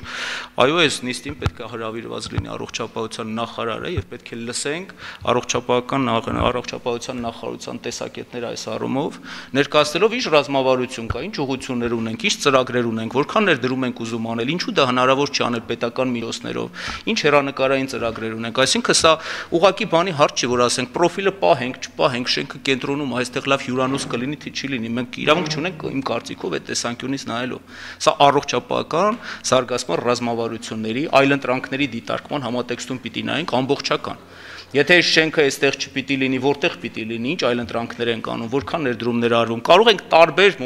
մեթոդներ դիտարկել, բայց ուղղակի բերել պետկառավարման, պետգույքի կառավարման ոլորտ եւ քննարկել այդ համատեքստում եւ կարծում եմ մենք ճիշտ ուղղությամբ չեն գնում առհասարակ եւ ավելի շատ այս հարցի պատասխանատուն առողջապահության նախարարությունն եմ կարծիքով ոնց որ մտքերի փոխանակությանը անցանք սահուն, հա, հարցերից Բերեք ուրեմն պարոն Մանուկյանը հերթագրվել էր։ Հա մտքերի փոխանակություն ենք անում, հետո Գևորգ Պապոյան, հետո ես։ Շնորհակալություն։ Կարծում եմ այս չափազանց կարևոր հարց է, բայց մինչև այս հարցի ավելի դետալային քննարկումը պարոն Խաչատրյան, մի հատ վերնագիր է իրար հետ նայենք, հա պետական գույքի մասնավորեցման 2017-ից 20 թվականի ծրագրի մասին օրենքում փոփոխություն։ Սա արդեն իսկ խոսում է, որ ստեղ պետական ներդրումների մասին խոսել է ընկերությունների մասով, առնվազն արդար կամ կոռեկտ չի։ Փորձեմ մի քիչ էլ ավելի բարձաբանեմ ձեր քննարկման արդյունավետությունը բարձրացնելու համար։ Ինչա նշանակում մասնավորեցում ընդհանրապես սեփականը տիրոջ փոփոխություն։ Այսինքն մեծ հաշվով այստեղ ցանկում ներ, ներ ընդգրկված ընկերությունների մասով պետությունը 17 թվականից 20 թվականների համար տեսել է, որ արկա սեփականատիրական հարաբերությունները պետքա փոփոխվեն եւ ներառել է ընկերությունների համախում, որում որ գտնում է, որ ինքը արդյունավետ չի կառավարում։ Հիմա ինչով է առաջարկի գաղափարախոսությունը Հիմա արկա մեթոդաբանության մեջ քաղաքականությունը ուրվագծող մարմնի կոնկրետ առողջապահության մասով մենք դնում ենք պրոֆիլի պահպանման պահանջ։ Սա այլ հանգամանքներում ըստ էության ներդրողի համար գրավությունը քննարկելու այլ ընտրանքները բարթացնում է եւ բխում է երկրորդ հարցը, որը որ ես շատ կուզենամ հանձնաժողովը այդ հավելյալ քննարկումների ժամանակ պատասխանի։ Ինչով եք դուք առաջնորդվելու, որոնք են այն չափանիշները, որոնք դուք ինստիտուցիոնալ մոտեցումների փոխարեն, ինստիտուցիոնալ նշանակում է ծրագրի մեջ ներառված, օրինակ, այս դեպքում 5 կամ 4, հա, քննարկումների արդյունքում կայացնելու եք անհատական որոշումներ, այսինքն պետքա դուք չափորիշ չափանիշ ունենաք, որ ասեք այս չափանիշների դեպքում մենք պնդում ենք, որ այս ընկերության մասով պետքա լինի պրոֆիլի պահպանում, այս ընկերության մասով չի լինի։ Ակնհայտ է, որ այս չափանիշների բացակայությունը այս հարցի է ավտոմատ քաղաքականության, քաղաքական որոշման հարցի։ Եվ ստեղ էլ մենք պետք է հասկանանք, արդյոք կան մարմիններ, որոնց քաղաքականությունը պետքա ֆիքսվի հենց այս հանձնաժողովի այս չափանիշների քննարկման արդյունքում։ Կարող է եւ կա, բայց սրա առումով կարծում եմ, որ մենք ապագայում պետք է ունենանք ա ռազմավարական օբյեկտների համախումբ, որոնց մասով մենք ունենք միանշանակ մոտեցումներ, որ այստեղ պետության այս դեպքում արդեն պարոն Խաչատրյանի ասածները կարող է իմաստալ ավելի էլ ավելի իմաստալից լինի, որ ներդրումներ են կարողանում իրականացնել կամ մոտեցումներ են փոփոխում, որպեսզի դրա կառավարման արդյունավետությունը բայց պետության ներքո բարձրացնենք։ Հա, այստեղ ռազմավարական լուծումներ։ Եվ բայց երբ որ մենք անունը դնում ենք արդեն մասնավորեցում, սա ենթադրում է արդյունավետ, ուրեմն պարոն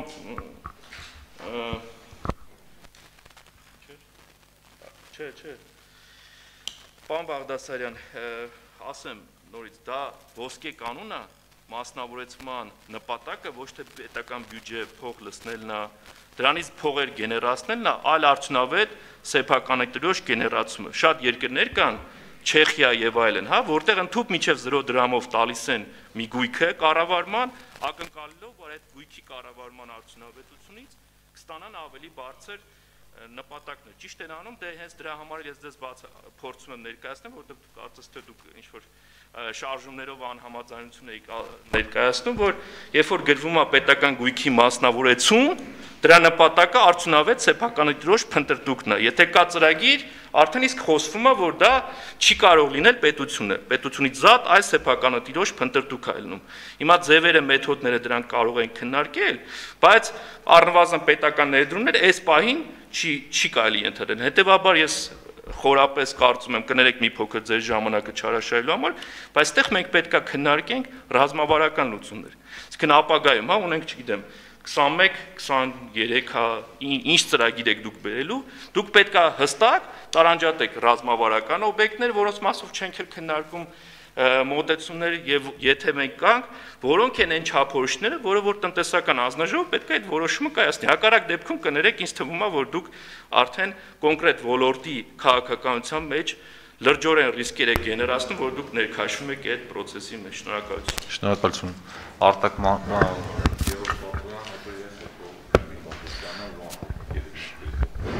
Շնորհակալություն։ Եթե զուտ մեր հանձնաժողովի գործնեության տրամաբանությամբ դիտարկենք հարցը, ես կարծում եմ պետքա կողմ քվեարկենք այս նախագծին, որովհետև եթե իրեն նայում ենք տնտեսական տրամաբանության մեջ, ակնհայտ է, որ եթե մի օբյեկտ անդադ վերջին 3 տարում փորձ է կատարել մասնավորեցվելու հայց չկա, բնականաբար նշանակում է պետք է ինչ-որ սահմանափակումներ դրա հետ կապված հանենք։ Սա մեկ Մեն մնացած մասը, երբ որ երկրորդ մասն եք նայում ու փորձում ենք չափորոշիչների մեջ խորանանք, դետալների մեջ խորանանք, ակնհայտորեն ես կարծում եմ, որ գոնե իմ մասնագիտական հետաքրքրություններից դուրս է գալիս եւ գնում է առողջապահության հանձնաժողով եւ դա կներեք, բայց ոչ միայն իմ, նաեւ պարոն Բաբայանի հետաքրքրությունից դուրս է գալի ու դառնում է զուտ առողջապահական հարց։ Այդ պարագայում ես կարծում եմ, որ արդեն պետք է քննարկումը շատ ավելի լայն լինի առողջապահության նախարարի մասնակցությամբ, առողջապահության հանձնաժողովի անդամների մասնակցությամբ, ոլորտի ներկայացուցիչների մասնակցությամբ եւ եթե ստացվի մի մի իրավիճակ, որ այո, մեզ շատ անհրաժեշտ է դա պահել, որովհետև թեկուզ պետք թեկուզ ինքը ըստ էության մենք մեծ անznակազմ ենք պահում, շենք ենք պահում, բայց սահմանափակ հիվանդներ ենք բուժելու, բայց այդ հիվանդներին մենք պետքա բուժենք թեկուզ 10 հիվանդ կարող է տարեկան լինել, բայց այդ մարդկանց պետքա բուժել եւ այլն, այդ այդ ուրիշ հարց է։ Բայց եթե տնտեսակ գիտական տրամաբանությամբ եմ ես նայում, ես զուտ մենակ առանձին այդ առողջապահական մասը անեի, կողմի, ես այս նախագծին կողմ քվեարկեի։ Հետևաբար, այստեղ ի՞նչն է խնդիրը, ես կարծում եմ եթե կա այն այն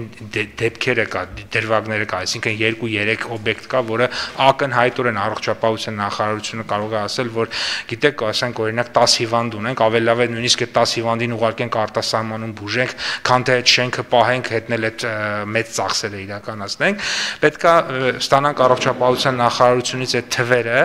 եւ առանձին այդ դեպքերը կամ այդ դեպքերի դեպքում այո տանք այդ սահմանապահ հանենք, բայց սկզբունքը մեծ հաշվով կարծում եմ սկզբունքի փոփոխությունը երևի պետք չէ, բայց ելի եմ կրկնում ինձ համար եթե առողջապահության հանրաժողովից ես չեմ ու առողջապահության նախարարը այստեղ չկա, այսինքն առողջապահական խնդիր չի դրվում եւ պարոն Բաբայանը ներկայացնում, չկա, ասենք օրինակ, պատճառ այս նախագծին դեմ քվեարկելու։ Շնորհակալություն պարոն Բաբայան։ Ես մեծ հաշվով բոլոր հնչած կարծիքների հետ մեծամասամբ համաձայն եմ, բայց մի քանի դետալներ կան։ Հիմա տեսեք, իհարկե ցանկալի չի հիմա 1-2 կոնկրետ առողջապահական հիմնարկների հարց քննարկել, որքան էլ որ մենք մասնագետների հրավիրենք ու փորձենք մասնակցային քննարկում անել, համաձայն եմ պարոն Մանուկյան, որ այդտեղ պետք է ինստիտուցիոնալ լուծում գտնվի, ու վերջնական որոշենք ինչով ենք մենք զբաղվում, ինչով մենք չենք զբաղվում, որտեղ պարոն Պապոյանը ճիշտ ասում է, եթե տնտեսական նպատակահարմարությամբ առաջնորդվենք, մենք միանշանակ կողմ ենք քվեարկելու, որովհետև ցանկացած գույք ինչ որ պարտավորությամբ ծառաբեռնվելով ծառաբեռնելով դրա գրավչությունը նվազեցնում ենք ու այդ գույքը չի վաճառում բայց տեսեք այս պահին նաև կոնկրետ անձամբից ինչն է մտահոգում. Այն պահին երբ որ այս նախագիծը եկել էր մենք մի ու իրավիճակ ունենք։ Հիմա այլ իրավիճակ ունենք։ Հիմա մենք ունենք մի իրավիճակ, երբ որ մասնավոր հյուրանոցային օբյեկտները պետական շահերի համար ծառայեցվում են առողջապահական նպատակներով։ Այսինքն այսօր մենք ոչ առողջապահական իրենց նշանակությամբ ոչ առողջապահական նշանակությամբ հաստատությունները խնդիր ունենք բերել առողջապահական նպատակներով օգտագործելու։ Հիմա մյուս կողմից էլ ասում ենք եկեք սա վերցնենք, տանք այս մարդկանց։ Ու այդ առումով համաձայն եմ լրիվ պարոն Խաչատրյանի հետ, մենք պիտի մի հատ ընդհանուր ռազմավարությունը նստենք ու հասկանանք։ Եթե մեր առաջիկա ծրագրերը այնպեսին են, որ մեզ ընդհանրապես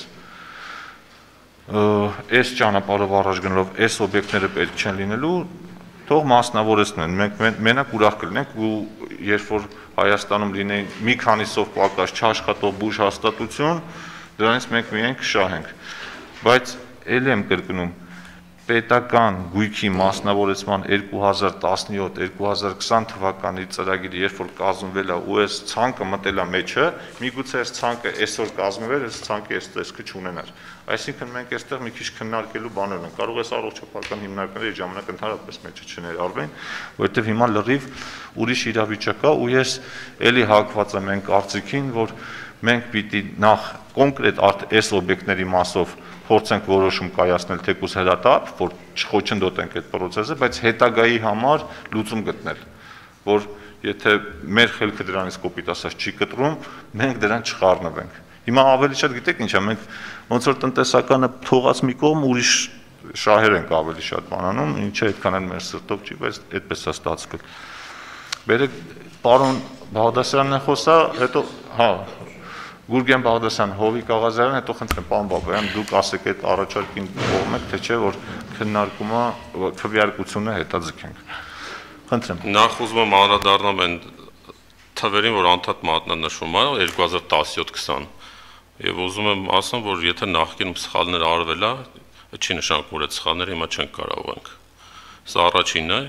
Երկրորդը անդադ խոսում ենք այդ պետություն մասնավոր համագործակցության մասին Ինչ նախագարում որ հենց այս նույն օբյեկտները այդ շրջանակներում այդ հարցը լուծեն։ Այսինքն եթե այս պահին ինչ որ մի գործողություն արվում է ինչ որ սպეციფიկ հիվանդների մասով,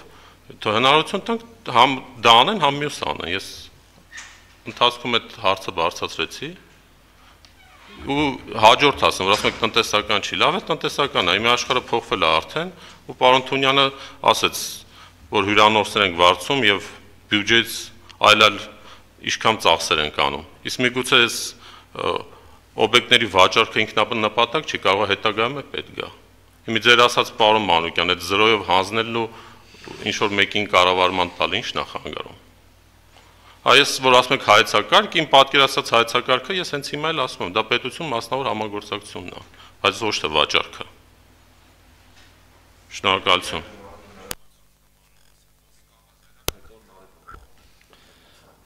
Ես ասեմ, որ լրիվ կիսում եմ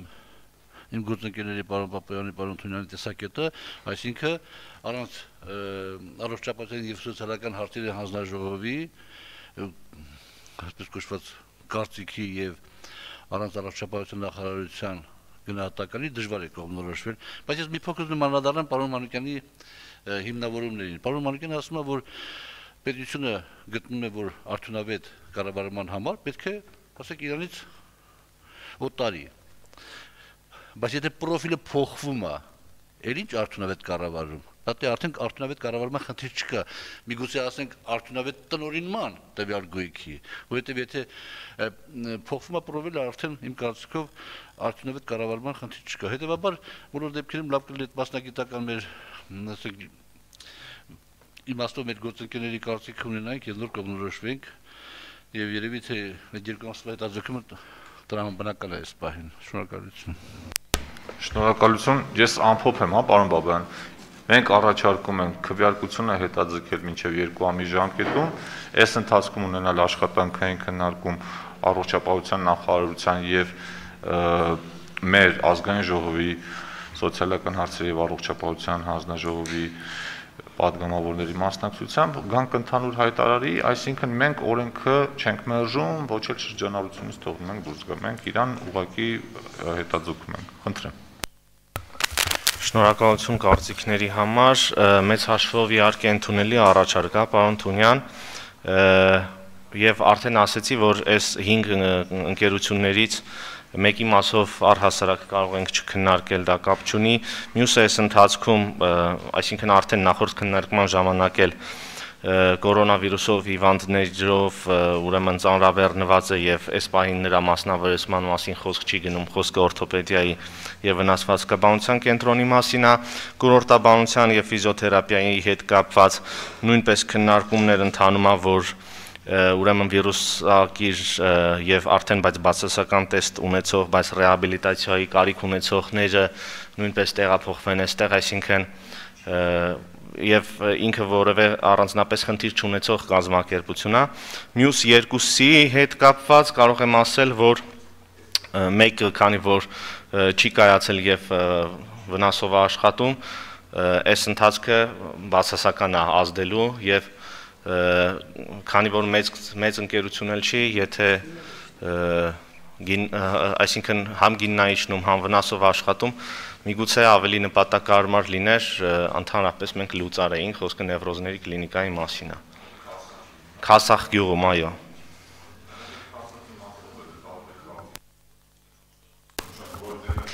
կներեք, որ թեմայի չեղում, էլի մեր թեման չի, բայց ես դրա առողջապահական դետալների մեջ չեմ կարող մտնել, բայց ինձ օրինակ շատ մարդիկ ահազանգում են զուտ հոգեբանական պահի հետ կապված, հա, որովհետև այդտեղ ուրիշ պրոֆիլի հիվանդություններ են բուժվում, ավանում ուրիշ,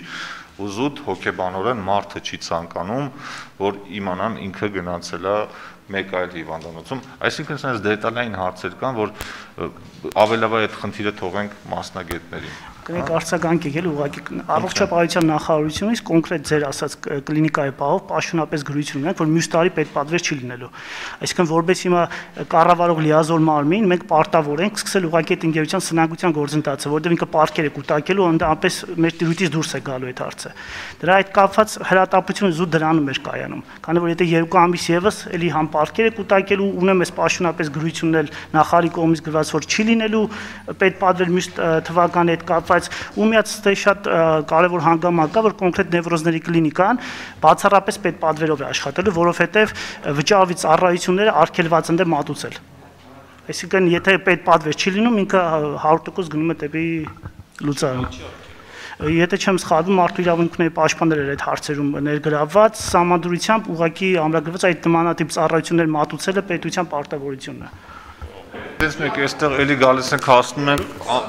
առողջապահության ռազմավարությանն ենք հասնում, ինչը պետք է համապատասխան մարդկանց կոմպետենտ ու ճիշտ մարդկանց մասնակցությամբ քննարկվի։ Դրա համար, պարոն Բաբյան, քվեարկությունը հետաձգենք ու ավելի համապարփակ այս քննարկումը կանենք։ Եվ այսպես այս հարցի քվեարկությունը հետաձգվում է մինչև 2 ամիս ժամկետով։ Մենք մինչև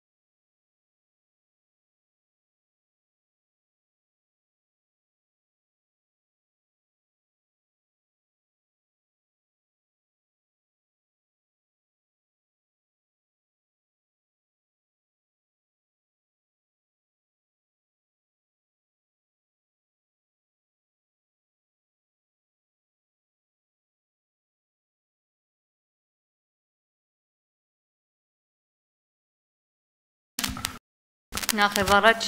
ուզում եմ ողջունել մեր падգամավորներին, ովքեր որ ապակինվել են եւ հիմա օրակարգն ամենակարևոր հարցերից են։ Եվ երկրորդը շնորհակալություն հայտնել parlamenti աշխատակազմին, խորհրդանին, որտեղ իրոք մարդիկ շաբաթ կիրակի օրով կարողացան մեզ հետ շատ ինտենսիվ աշխատել եւ արդյունքում ունեցանք լրամշակված փաթեթ շատ ավելի կոկիկ ու ճիշտ գրագետ մշակված Այս փաթեթի հետ կապված հրատապությունը ինչպես առաջին թերթման ժամանակ ներկայացրեցի, որ կան փորձակնության կարգերի ընթացակարգեր, որոնք որ պաշարների հաստատման հետ են կապված եւ այսօր ունենք պատրաստի փաթեթներ անգամ տնտեսվարողներից, երևի թե շուրջ 1 տասնյակ փաթեթ, որոնք սպասում են հաստատմանը եւ ավելին ասեմ, սրա հիման վրա կառավարության որոշման նախագիծը նույնպես մշակված է լիազոր մամնի կողմից արդեն իսկ եւ ուղարկված է քննարկումների գոնե աշխատանքային, որպեսզի հենց ընդունվի օրենքը կառավարության որոշումը հրատապ նույնպես օր առաջ ընդունվի եւ բացի նմանատիպ դրույթներից ես նշեմ, որ ցանկացած փոփոխություն, որ այստեղ վերված է, ըստ էության կարգավորում է ընդերքօգտագործողների հետ կամ ընդերկօգտագործման ոլորտում կարևոր իրավահարաբերություններ եւ ավելի հստակեցում է մտցնում, այսինքն ցանկացած օր օր առաջ այս բարեփոխումները ունենալը մեր գերակա խնդիրն է, քանի որ յուրաքանչյուր օր մենք բախվում ենք նմանատիպ խնդիրների եւ թե տնտեսվարողների համար եւ թե պետության տեսանկյունից դրանք ավելի հստակ եւ լուծելի կլինեն իրականում ձեր բարձրացած հարցի հետ կապված պարոն Թունյան ներկայացնեմ, որ ժամկետների հետ կապված մենք ստացել ենք, որ ընդհանուր առմամբ անցումային դրույթները նույնպես նայել ենք եւ գտնում ենք, որ մեկ դրույթ կար այնտեղ հրաժարման դիմումի հետ կապված, որ մենք 3 ամիս առաջ դիմում ներկայացնելը ժամկետի ենք սահմանում 9 ամիս առաջ եւ այդ դրույթում նույնպես փոփոխություն են կարել անցումային դրույթներում քանի որ եւ մինչեւ 1 տարի ժամկետ մնացած թույլտվությունների ներկօգտագործողների համար գրել ենք, որ այդ դրույթը չի տարածվում, այսինքն գործում է այսօրվա օրենսդրությունը, չնայած որ մինչեւ 9 էր, բայց 1 տարի ունեցողների վրա դեռևս չենք տարածում, այսինքն Այո, մենք Չէ, հիմա դառնա 9, բայց չի տարածվում մինչև 1 տարի մնացած իրավունքների համար ժամկետով։ Այսինքն իրականում մենք դա քննարկել ենք մեզ մոտ, բայց քանի որ դա չէր վերաբերվում իրավունքի ժամկետի ավարտի կետին հաշվարկը, այլ ընդերկօգտագործողի ցանկալի օրվանից 3 ամիս առաջ դրա համար գտել ենք, որ միգուցե անհրաժեշտություն չկա, բայց ընդհանուր քննարկումը ավելի հաստատեց, որ այդ մասով նույնպես կարելի է ցանկացած բարակայում խնդիրներ խուսափելու համար համապատասխան անցումային դրույթը սահմանել։ Նախագծի հետ կապված, եթե ասեմ, հիմնական կետերը ներկայացվել է հանձնաժողովի անդամներին եւ падգամավորներին, բայց ընդհանուր առմամբ եթե նշեմ, ինչ ենք փոփոխել, բավական տեխնիկական հատվածով, բավական փոփոխություն են արել ավելի կոկիկ դարձնելու համար հաղումներ, կետադրություններ, համարակալումներ, դրանցով իհարկե ձեզ չեմ ծանաբեռնի, կային ներքին հակասություններ ու էլի տերմինների մասով, որ մի մասում նշված էր այլ բառ, երկրորդ մասում այլ բառ, այդ մասով նույնպես մանրակրկիտ ամբողջ նախագիծը հստակեցվել է, լրամշակվել է, օրինակ ապարքներ կամ չվճարված հատկացումներ նախատեսված, այդ բոլորը նույն տերմինաբանությանն է բերվել Եվ բացի այդ մենք ստացել ենք նաև գրավոր առաջարկ լուսավոր Հայաստանի մեր գործընկերներից ըստ էության ինչպես անցած քննարկման ժամանակ ես հիմա արդեն վերահաստատում եմ մեր դիրքորոշումը կապված ժամկետի երկարացման հետ, որ մինչև 25 տարի, մինչև 15 տարի ժամկետով իրավունքի տրամադրումը ոչ մետաղականների համար առաջարկ է ստացվել 25 տարի նույնպես դարձնել, բայց որոշակի տարբերակում ունենալու համար մետաղականներից մենք ընդունում ենք, որ դա կարող ենք 20 դարձնել, այսինքն ոչ 25, ոչ 15, բայց որոշակի այո, փողզիչումային տարբերակ։ Նախագծում նաև դիտողությունների հիման վրա ավելացվել են երկու հասկացություններ, փոփոխություն գետավորողային ընդերքի տեղամասի հասկացությունն է ավելացվել ավելի հստակ լինելու համար եւ համապատասխան Անդերքի ուսումնասիրության մեջ նաև վերագնահատման աշխատանքներն են այդ բացվածքի մեջ ավելացվել նախնական պայմանագրերը, որոնք որ մենք ուզում ենք գրավի ժամանակ կողքը գրված էր նախագծեր, բարձր նախագծեր այդ դեպքում արդեն պետք չեն։ Մենք նաև առաջարկ ենք ստացել մեր խորհրդանի գործընկերներից, իրավաբանական վարչությունից սահմանել գրավի որպես գրավադրման պայման մենք գրել ենք, որ հարկային պարտավորություններ պետք է չունենային ընկերությունները, սակայն եւ դրանով բավական մեծ ռիսկ ենք մենք փորձում կարգավորել։ Մեր գործընկերները առաջարկում են գոնե շեմ սահմանել մինչև 1 միլիոն միլիոն դրամի, ըստ էության դա մեզ համար ընդունելի շեմ է, որ անգամ 1 միլիոն դրամ հարկային պարտավորություններ կամ այլ պարտադիր վճարների պարտավորություններ ունենալու պարագայում մենք կարող ենք թույլ տալ, որ իրենք գրավադրեն իրենց իրավունքը, որովհետև դա իհարկե այն գումարը չի կամ այն ռիսկերը չեն, որով մենք այս կարգավորմամբ ուզում ենք կարգավորել եւ այդ փոփոխությունը, ինչպես սնանկության մասին օրենքում է համապատասխան փոփոխությունը իրականացված, վերջերս ընդունված կարգավորումը, մենք համապատասխանեցրել ենք այդ շեմը նույնպես ներմուծել ենք այստեղ, այսինքն ընդունելի է այդ առաջարկը անցումային շեմ որոշակի սահմանելու կար անցումային դրումներում վրիպակ, որ կառավարության կողմից սահմանված, երբ որ ամբողջ տեղում լիազոր մարմիններ սահմանում համապատասխան կարգերը, ես փորձեմ արագ հենց բովանդակային հարցին իհարկե անդրադառնալ։ Մենք առաջին երկրորդ ընթերցում դեռևս այսքան առաջին ընթերցում գրավոր առաջարկություններ ենք ներկայացնել նաև կառավարության կողմից մի քանի կետերով մասնավորապես փակ շրջանառու համակարգը մենք գրել ենք մինչև 500.000 արտադրողականություն ունեցող ընդերկօգտագործողների համար, հիմա առաջարկում ենք դա բոլորի համար, մետաղականների մասով բոլորի համար դարձնել պարտադիր։ Մենք նաև անցած անգամ խոսեցինք, հիշեցնեմ, հաջորդ առաջարկի վերաբերյալ, որ չշահագործվող փակ ստորգետնյա փորվածների մասը այդ դարպասները այսպես ասած պետք է մինչև 1 մետր լայնությամբ բետոնապատվեն, որպեսզի կանխենք մեր հայրենակիցների կյանքի վտանգը, քանի որ դա կարծում եմ բավական մեծ արժեք ունի, նմանատիպ գործողություն կարող ենք սահմանել եւ բավական մեծ թվով քաղաքացիների ինչու՞ չէ նաեւ փրկել։ Ինչ վերաբերում է մյուս առաջարկներին, ապա ես ասացի, որ ընդունել ենք հրաժարման մասով համապատասխան անցումային դրույթը սահմանելու առաջարկը, ինչպես նաև գրավի մասով, եթե պետք լինի լրացուցիչ համապատասխան կարգավորումները իհարկե կբացատրենք կամ կներկայացնենք մեր տեսանկյունը անցած անգամ նաև պարոն Խաչատրյանը բարձրացրեց հարց վարչական ակտի դատարեցման հետ կապված հարցում ես ճիշտ ասած հասկացա հետագայում որ ավելի շատ մի քիչ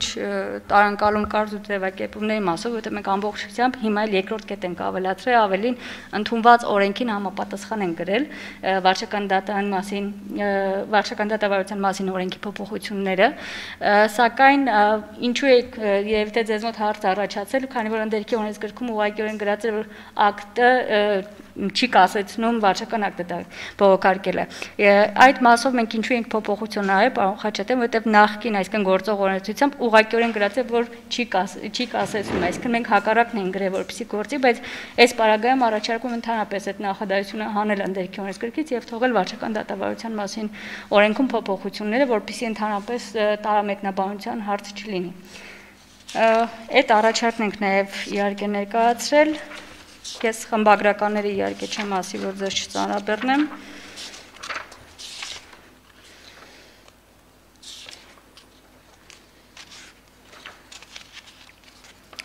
ավելացրել ենք այն բոլոր հատվածներում էլի մասամբ խմբագրական, բայց կարծում եմ պետք է նշենք, որ հանքավայրերի վերաբերյալ մենք տալիս ենք իրավունքներ, նաև հանքավայրի տեղամասերի, քանի որ ինչպես ասացի, արդեն տեղամասերի նկատմամբ էլ առանձին իրավունքները պատրաստում ենք տրամադրել, այդ նույն բառերը նույնպես տեքստում ավելացված է։ Լուսավոր Հայաստանի գործընկերների առաջարկը կներեք նշեցինք, կարծես թե այսքանը։ Եթե հարցեր լինեն, ավելի շուտ հարցերով պատասխան Շնորհակալություն Տիկին Շուշանյան։ Առաջարկներին հերթով մեկը անդրադառնալու ենք։ Ես հիմա կխնդրեմ Տիկին Մուսաֆյանին Բերեք, ուզում եք մեր իրավաբանին էլ լսենք, հետո միանգամից ավելի հարցերը ինձ թվում է դեպքում ճիշտ ու ճշգրիտ կլինեն։ Ժամկետների հետ կապված ձեր եզրակացությունը, որ կարդում էի, այստեղ անցումային դրույթների հետ կապված օրինակը բերել էի, մեկը հենց այդ 3 ամիսի 9 ամիս փոխելու Տիկին Շուշանյանը այդ մասով նշեց։ Ես կխնդրեմ դուք մնացածի մասով նշեք, հա, որտեղ մենք ունենք խնդիր ու որտեղ փոխելու ենթակա բաներ կան, որտեղ չկան, որտեղ մենք հնարավորություն ունենք մի քիչ ավելի ճկուն գտնվել։ Շնորհակալություն։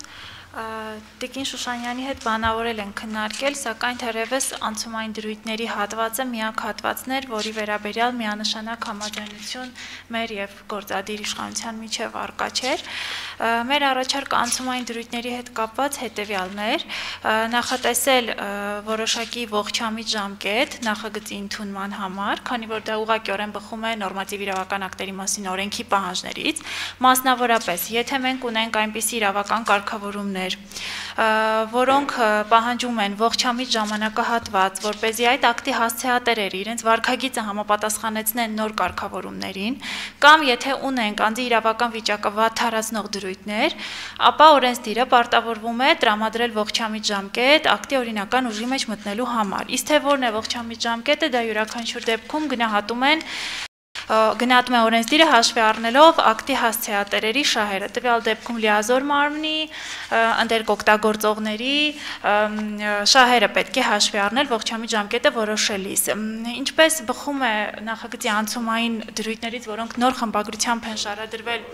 առաջին ընթերցումից հետո, լիազոր մարմինը պարտավորվում է ընդունել մի շարք իրավական ակտեր, որոնց համար նախատեսվում է 6-ից մինչև 2 տարի ժամկետ տարբեր իրավական ակտերի համար տարբեր։ Հետևաբար այդ ակտերի հետ փոխկապակցված դրույթները այսպես թե այնպես չեն աշխատելու։ Այսինքն, մինչև չունենանք համապատասխան իրավական ակտ ընդունված, այդ նորմի պահանջի կատարում հասցեատիրոջից մենք չենք կարող պահանջել հետևաբար մեր առաջարկն է եղել նախատեսել նախագծի ընդունման ուժի մեջ մտնելու ողջամիտ ժամկետ, չգիտեմ, դա կարող է լինել 6 ամիս, կարող է լինել 3 ամիս, իսկ այն դրույթները, որոնք որ հրատապ կատարում են պահանջում, ինչպես Տիկին Շուշանյանը շեշտեց, դրանց համար նախատեսել ուժի մեջ մտնելու ժամկետը ընդունումից հետո, ընդունումից 10 օր հետո։ Տիկին Շուշանյան, գուցե ձեր կարծիքը արտահայտեք։ Շնորհակալություն։ Շնորհակալություն Տիկին Մութեֆյան։ Իրականում այն ամենը ինչ հնչեցվեց Տիկին Մութեֆյանի կողմից, այդ ամենի հետ ես միանշանակ համաձայն եմ ու կարծում եմ, որ հենց այդ տրամաբանությանը համապատասխանում է մեր նախագիծը։ Այսինքն, այն բոլոր կետերը, որտեղ որ սահմանվա անհրաժեշտ էր անցումային դրույթներ, մենք սահմանել ենք, այն բոլոր կետերը, որտեղ որ կարգեր են սահմանված, մենք գրել ենք հստակ ժամկետներ, այսինքն գործադիրի համար թե ինչ ժամկետներում պետք է ընդունվեն Եվ այդ ժամկետները սահմանված են համապատասխան միջակայքում, այսինքն մինչև այդ ժամկետը, այսինքն եթե գրամսվա ընթացքում էլ ենք հաստատ, այսինքն դա ոնց որ գործադիրի կատարողականի հետ կապված ու վերահսկողականի մասն է։ Եվ կարծում եմ մենք այսինքն իրավական մասով էլ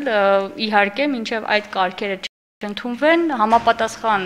կարգերում արկա բովանդակային փոփոխությունը չի կարող տարածել որևէ ընդդեք օգտագործողի վրա չեն կարող տարածել այն ինչը չկա Դա ընդունված պրակտիկա է, մենք քննարկեցինք նաև մեր իրավաբանների հետ եւ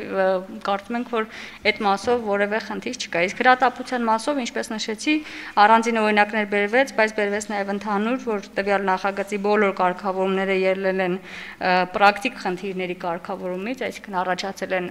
լիազոր մարմնի եւ ընդերք օգտագործողների կամ այլ մարմինների աշխատանքում պրակտիկ խնդիրներ եւ դրանք օր ամեն օր շարունակվում են, որովհետեւ ամեն օր նոր кейսեր են ավելանում այդ այս բացերի համար Այսինքն բոլոր կետերով ըստ էության մեզ համար այս նախագիծը հրատապա, քանի որ չի բխում որևէ կառավարության ծրագրի կատարողականի չի բխում որևէ պարտավորությունից, սրանք հենց պրակտիկ խնդիրներն են վերհանված, որոնք մեզ օր առաջ պետք են։ Շնորհակալություն։ Ես մի ընդհանուր հարց տամ, հա, ինձ կներեք, եթե իրավաբանի ականջին մի քիչ խորտ կլինի, մի քիչ շատ տնավարի կհարցնեմ։ Հիմա տեսեք, այստեղ նախատեսվում է, որ դրույթը դրույթները ուժի մեջ են մտնում հրաապարակումից հետո 10 հրաապարակումից 10 օր հետո, հետո մենք առանձին դեպքերի մասով նայում ենք, թե որոնք կարելի է այդպես անել, որոնց դեպքում մի քիչ ավելի ուշ մտնելու։ Իսկ մենք հնարավորություն ունենք ուրիշ կողմից գալու, այսինքն ընդհանուր ժամկետը սահմանել այնպեսին, որ ինքը ողջամտություն ապահովի, առավել հա, հրատապդրույթների մասով բացառություններ անելով գնանք։ Այդ տրամաբանությունը կարող է աշխատել։ Հենց այդ տրամաբանությունն է եղել մեր առաջարկը պարոն Թունյան, այո, դա օրենքի տեսանկյունից աշխատում է։ Ուղղակի իրենք պետք է գնան։ Եթե կարելի է պարոն Թունյան, մենք այդ տրամաբանությունից ելնելով եւ ելնելով նաեւ ծավալի փոփոխությունները շատ ավելի քիչ են, քան այս ամբողջ նախագիծը ու իր կարգավորումները։ Այսինքն մենք հակառակ տրամաբանություն ենք ֆիքսել, էլի, այսպես ասած լոգիկայի սահմանները, որ մի քանի կետեր որոնք որ հստակ կարող են մեկնաբանվել կամ անգամ հստակ չէ անորոշ մեկնաբանվել որպես որոշակի ժամկետ պահանջող, մենք այդ կետերը ֆիքսել ենք, ամրագրել ենք, իսկ կարգերը ընդունված պրակտիկա է, որ կարգերը գրում ենք ու կարգերի ընդունումից հետո են դրանք ուժի մեջ մտնում։ Ավելին ասեմ, այսօր այդ կարգերը, որ մենք սահմանել ենք օրինակեցին ժամկետում պետք է ընդունվեն, կան կետեր, որոնք ընդերքի օրենսգրքում մենք ունենք այսօր, որ այդ կարգը պետք է պատասխան լիազոր մարմինը, ենթադրենք ոչ մեր լիազոր մարմինը ընդունի, բայց մինչև այսօր չի ընդունել։ Այսինքն մենք այսօր էլ ունենք որոշակի օրինակ դրույթ, որտեղ որ որի վերաբերյալ որևէ ժամկետ կամ կարգ չկա, բայց մենք հստակ ֆիքսում ենք այդ ամենը, որպեսզի ավելի հստակություն ապահովենք, կատարողական ապահովենք նաև գործադիրի կողմից վերահսկելի լինի, այսպես ասած, հենց մեզ գործադիրի համար, այսինքն ըստ էության այսօր անգամ ունենք դրույթ, որի համար ուղղակի ժամկետ ենք սահմանել գործող դրույթ, այսինքն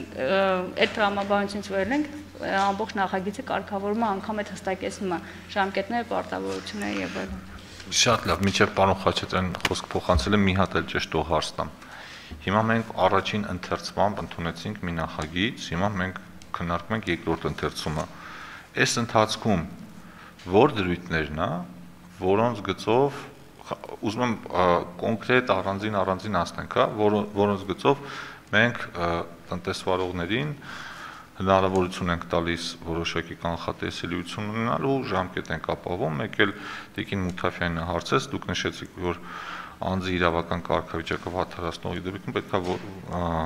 ողջամիտ ժամկետ լինի, խնդրեմ 1 կամ 2 առավել կարևոր դրույթները դուք նշեք ու մենք դրանց օրինակով դիտարկենք, հա, որոնք են, որ ըստ ձեզ անձի իրավական կարգավիճակը վատթարացնում են եւ օրենքի նախագծով իրանց համար ողջամիտ ժամկետ չի ապահովում անձիրավական կարգավիճակ ուղղակիորեն վաթարացնող դրույթի մասին արդեն իսկ Տիկին Շուշանյանը խոսեց. 3 դա դե տիպիկ օրինակ է երբ որ անձը գործող օրենքի պայմաններում կանխատեսում ա որ ինքը նախազգուշացման պարտավորություն ունի առնվազն 3 ամիս առաջ, բայց ինչ որ մի պահից սկսած մենք իրեն պարտավորեցնում ենք, որ խաղի կանոնները փոխվել են, այսուհետ դու պետք է 9 ամիս առաջ մեզ տեղյակ պայս։ Ինքը պլաններ ունի, ծրագրեր ունի, որոնք ինչ որ մի կետից խափանվում են։ Հիմա կներեք, դրա մասով Տիկին Շուշանյանի ասած տարբերակով այդ խնդիրը լուծվում է։ Եթե հատ առ հատ հնարավոր լինի, պարոն Թունյան, առանձնացնել անձի իրավական վիճակը վատթարացնող դրույթները, խնդիր չենք ունենում, բայց այստեղ նաև բարձրանում է հենց այդ նույն գրավի հարցը, չէ, որ քննարկեցինք։ Այստեղ էլ եթե այս պահի դրությամբ մարդիկ կան, ովքեր տնտեսական պլաններ ունեն, շահեր ունեն, գնահատել են իրենց միջոցները եւ նախագծի ընդունման պահից 10 օր հետո իրենք այլևս այդ պլանները չեն կարող իրագործել, որտեղ ընդերկօգտագործման իրավունքի գրավը թույլատրվում է միայն նպատակային փոխառության պայմանով։ Ճիշտ է, դա իրավական առումով դուրս է մնում նախագծից, բայց տնտեսական որոշակի շահի պլանների հարց է բարձրանում։ Դա այդ պահի դրությամբ անձի համար չի համարվում իրավական կարգավիճակը վատթարացնող, եթե ինքը չունի նախնական պայմանագիր Այսինքն եթե ճունի որևիցե իրավական փաստաթուղթ Դա սա նախնականի վրա չի կարող ազդել, չէ՞։ Մենք կարող Չէ, չէ, եթե նախնական պայմանագիր արդեն իսկ կնքված ունի, չի տարածվում, բայց ինքը մտադրություն ունի, շահ ունի, օրինական ակնկալիք ունի։ Այսինքն այստեղ ավելի շատ մնում է բովանդակային նպատակահարմարության հարցը, եթե մենք կորոշենք, որ սա վատթարացնում է ու կարող է ազդել տնտեսվարողի հետագա պլանների վրա, այդ ողջամտությունը ասվածը սուբյեկտիվ է, այսինքն խիստ հայեցողական է, մի դեպքում կարող է 5 օր համարվի մեր կողմից ողջամիտ, մի դեպքում 6 ամիսը, ու կախված թե ինչ խնդիր ենք դրանով լուծելու, ինչ խնդիր ենք առաջացնելու, այդ որոշումը արդեն ինքը իրավական որևէ բաների մեջ։ Շատ լավ, խնդրեմ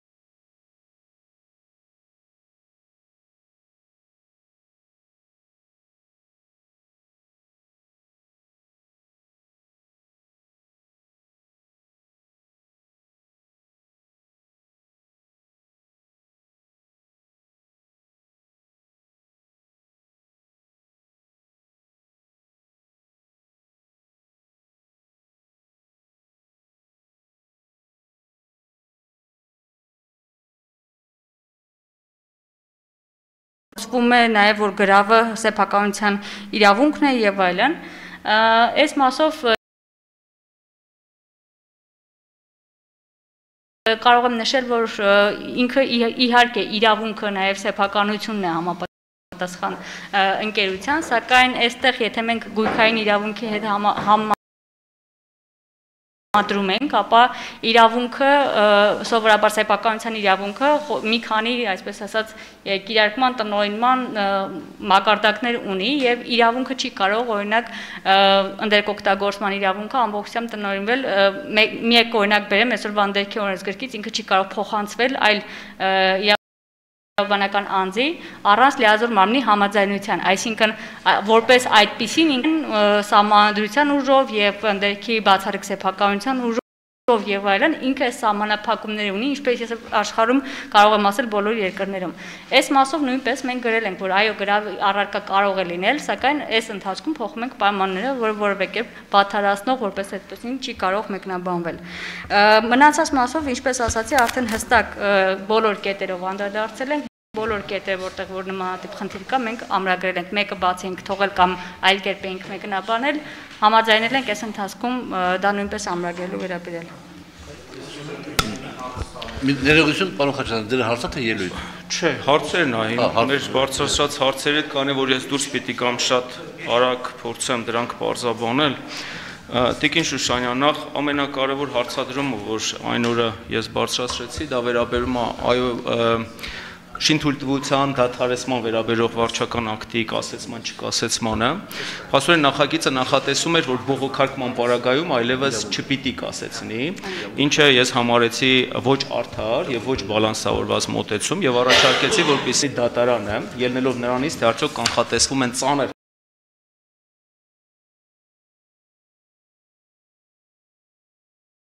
հետևանքներ դրա չդադարեցման արդյունքում թե ոչ։ Ես ուզում եմ եւս մեկ անգամ մի հատ ճշտել։ Այսինքն, եթե այդ կետը դուրս է գալիս, ես չեմ հիշում ուղղակի վարչական դատավարության օրենսգրքում ինչ փոփոխություններ են արված։ Այս փաթեթով երաշխավորվում է, որ դատարանն է դարվում, թե այդուհանդերձ կա դրույթ, որը սահմանում է, որ դա ի սկզբան է կամ կասեցվելու է կամ չի կասեցվելու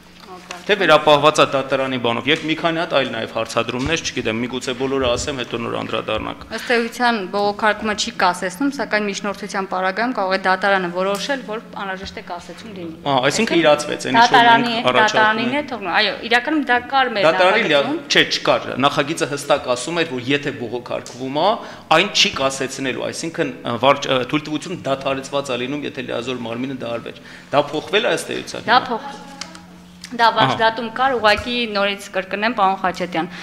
Ուրեմն նախորդ մեր գործող օրենսդրությունում հստակ գրված է իմպերատիվ կերպով, որ չի կասեցնում։ Մենք քանի որ հիմա այդ վիճակը փոխում ենք, գրել ենք կասեցնում են, բայց համաձայն եմ, որ այդ առաջարկությունը դա համար ենք անում, որ մենք հանում ենք ընդհանրապես այդ նախադասությունը։ Հիմա դատարանը կորոշի արդեն։ Շատ լավ։ Մյուս մասը դա այդուհանդերձ շահգործման թույլտվության գրավադրման հարցն էր, որը բավականին երկար խոսեցիք։ Տեսեք, ինչն է իմ մտահոգությունը։ Գրավադրման թույլտվություն տալ կամ չտալը, դա պետության կողմից ուղղակի միջամտություն է այդ ազատ տնտեսավարման հարցում, Եթե քաղաքականությունը այնպեսին նա, որ շին շահագործման թույլտվությունը այդուհանդերձ ոչ նյութական ակտիվ է, որը որ կարող է եւ պետությունը ճանաչում է սուբյեկտի այդ իրավունքը,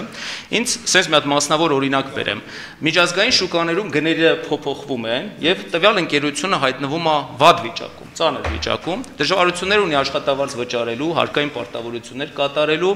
կամ ունի վերծրած ինչ որ վարկ, որի սպասարկման տոկոսները բարձր են։ Հիմա մի քանի հնարավոր տարբերակ։ Նա ուզում է գրավադրնել այդ շահագործման թույլտվությունը եւ վերծված գումարները ուղղել նախկինում վերծված վարկի մարմանը, որpիսի ավելի բարենպաստ պայմաններով վարկ վերցնի։ Մի տարբերակ։ Երկրորդ ուզում է հարկային պարտավորությունները կատարել, աշխատավարձները վճարել եւ ընթացիկ այլ շրջանառու միջոցները համալրել։ Օրինակ, տեսեք դուք ասում եք միայն շին թույլտվությամբ տրված պայմանագրով նախատեսված ծախսերի ֆինանսավորմանը։ Ես ուզում եմ հասկանալ նման իրավիճակներում, որը բնականon բիզնես ռիսկերի հետ կապված իրավիճակ է, սուբյեկտը այդ ազատությունը ունենալու է դա անել թե ոչ, որովհետև նման ծախսերի ուղղություն նախատեսված չի։ Օրինակ ավելին դուք ասում եք, եթե հարկային պարտավորություններ ունի, ապա մենք թույլտվությունը չենք տա։ Մարդը առանց այն էլ ծանր վիճակում է, իրեն թույլտվություն է պետք, որպեսզի գրավադրնի եւ ծանր վիճակից դուրս գա։ Սա չեմ ուզում, որ որևիցե ձեռով ձևով լինի ձեռնարկատիրական գործունեության սահմանափակում, որ ել ավելի ծանր վիճակի մեջ կգցի իրեն։ Մենք փոխանակ հանենք օրինակ հարկային պարտավորության սահմանաչափը օքեյ դրեցիք, բայց առասարակ պետք է այդ հարկային պարտավորության սահմանաչափը թե ոչ, եթե ինքը ուզում է այդ վարկը վերցնել հենց հարկային պարտավորությունները մարելու համար։ Ես հասկանում եմ, որ դուք ունեք նախադեպային դեպքեր, որոնց դեմ ուզում եք առնել ոչ արդյունավետ ծախսերի, բայց այդուհանդերձ մի մոռացեք, որ դա բիզնես է եւ իր հարկերը վճարելուց հետո թե ինքը ինչի վրա կծախսի իր միջոցները,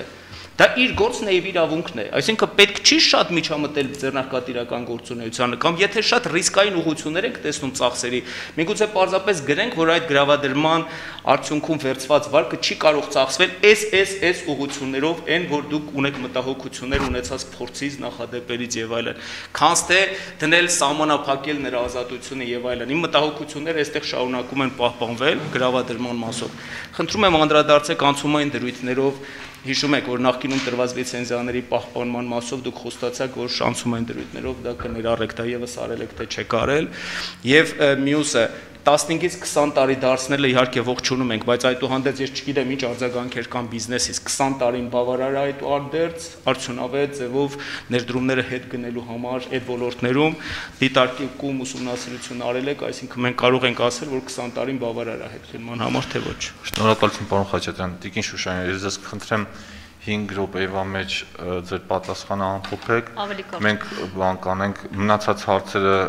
Մերի Գալստյան, Հայ Գևորգյան, Հովիկ Աղազարյան, եթե կլինեն, կշարունակենք արդեն այդ միջից հետո։ Շնորհակալություն։ Այս հարցերին պատասխանեմ երևի թե 50 տարվա հետ կապված որ օրինակ կամ 50 չասեմ, մինչև 50 տարի ընդերկօգտագործման իրավունքներ ունեցողները, ովքեր որ այս պահին ունեն այդքան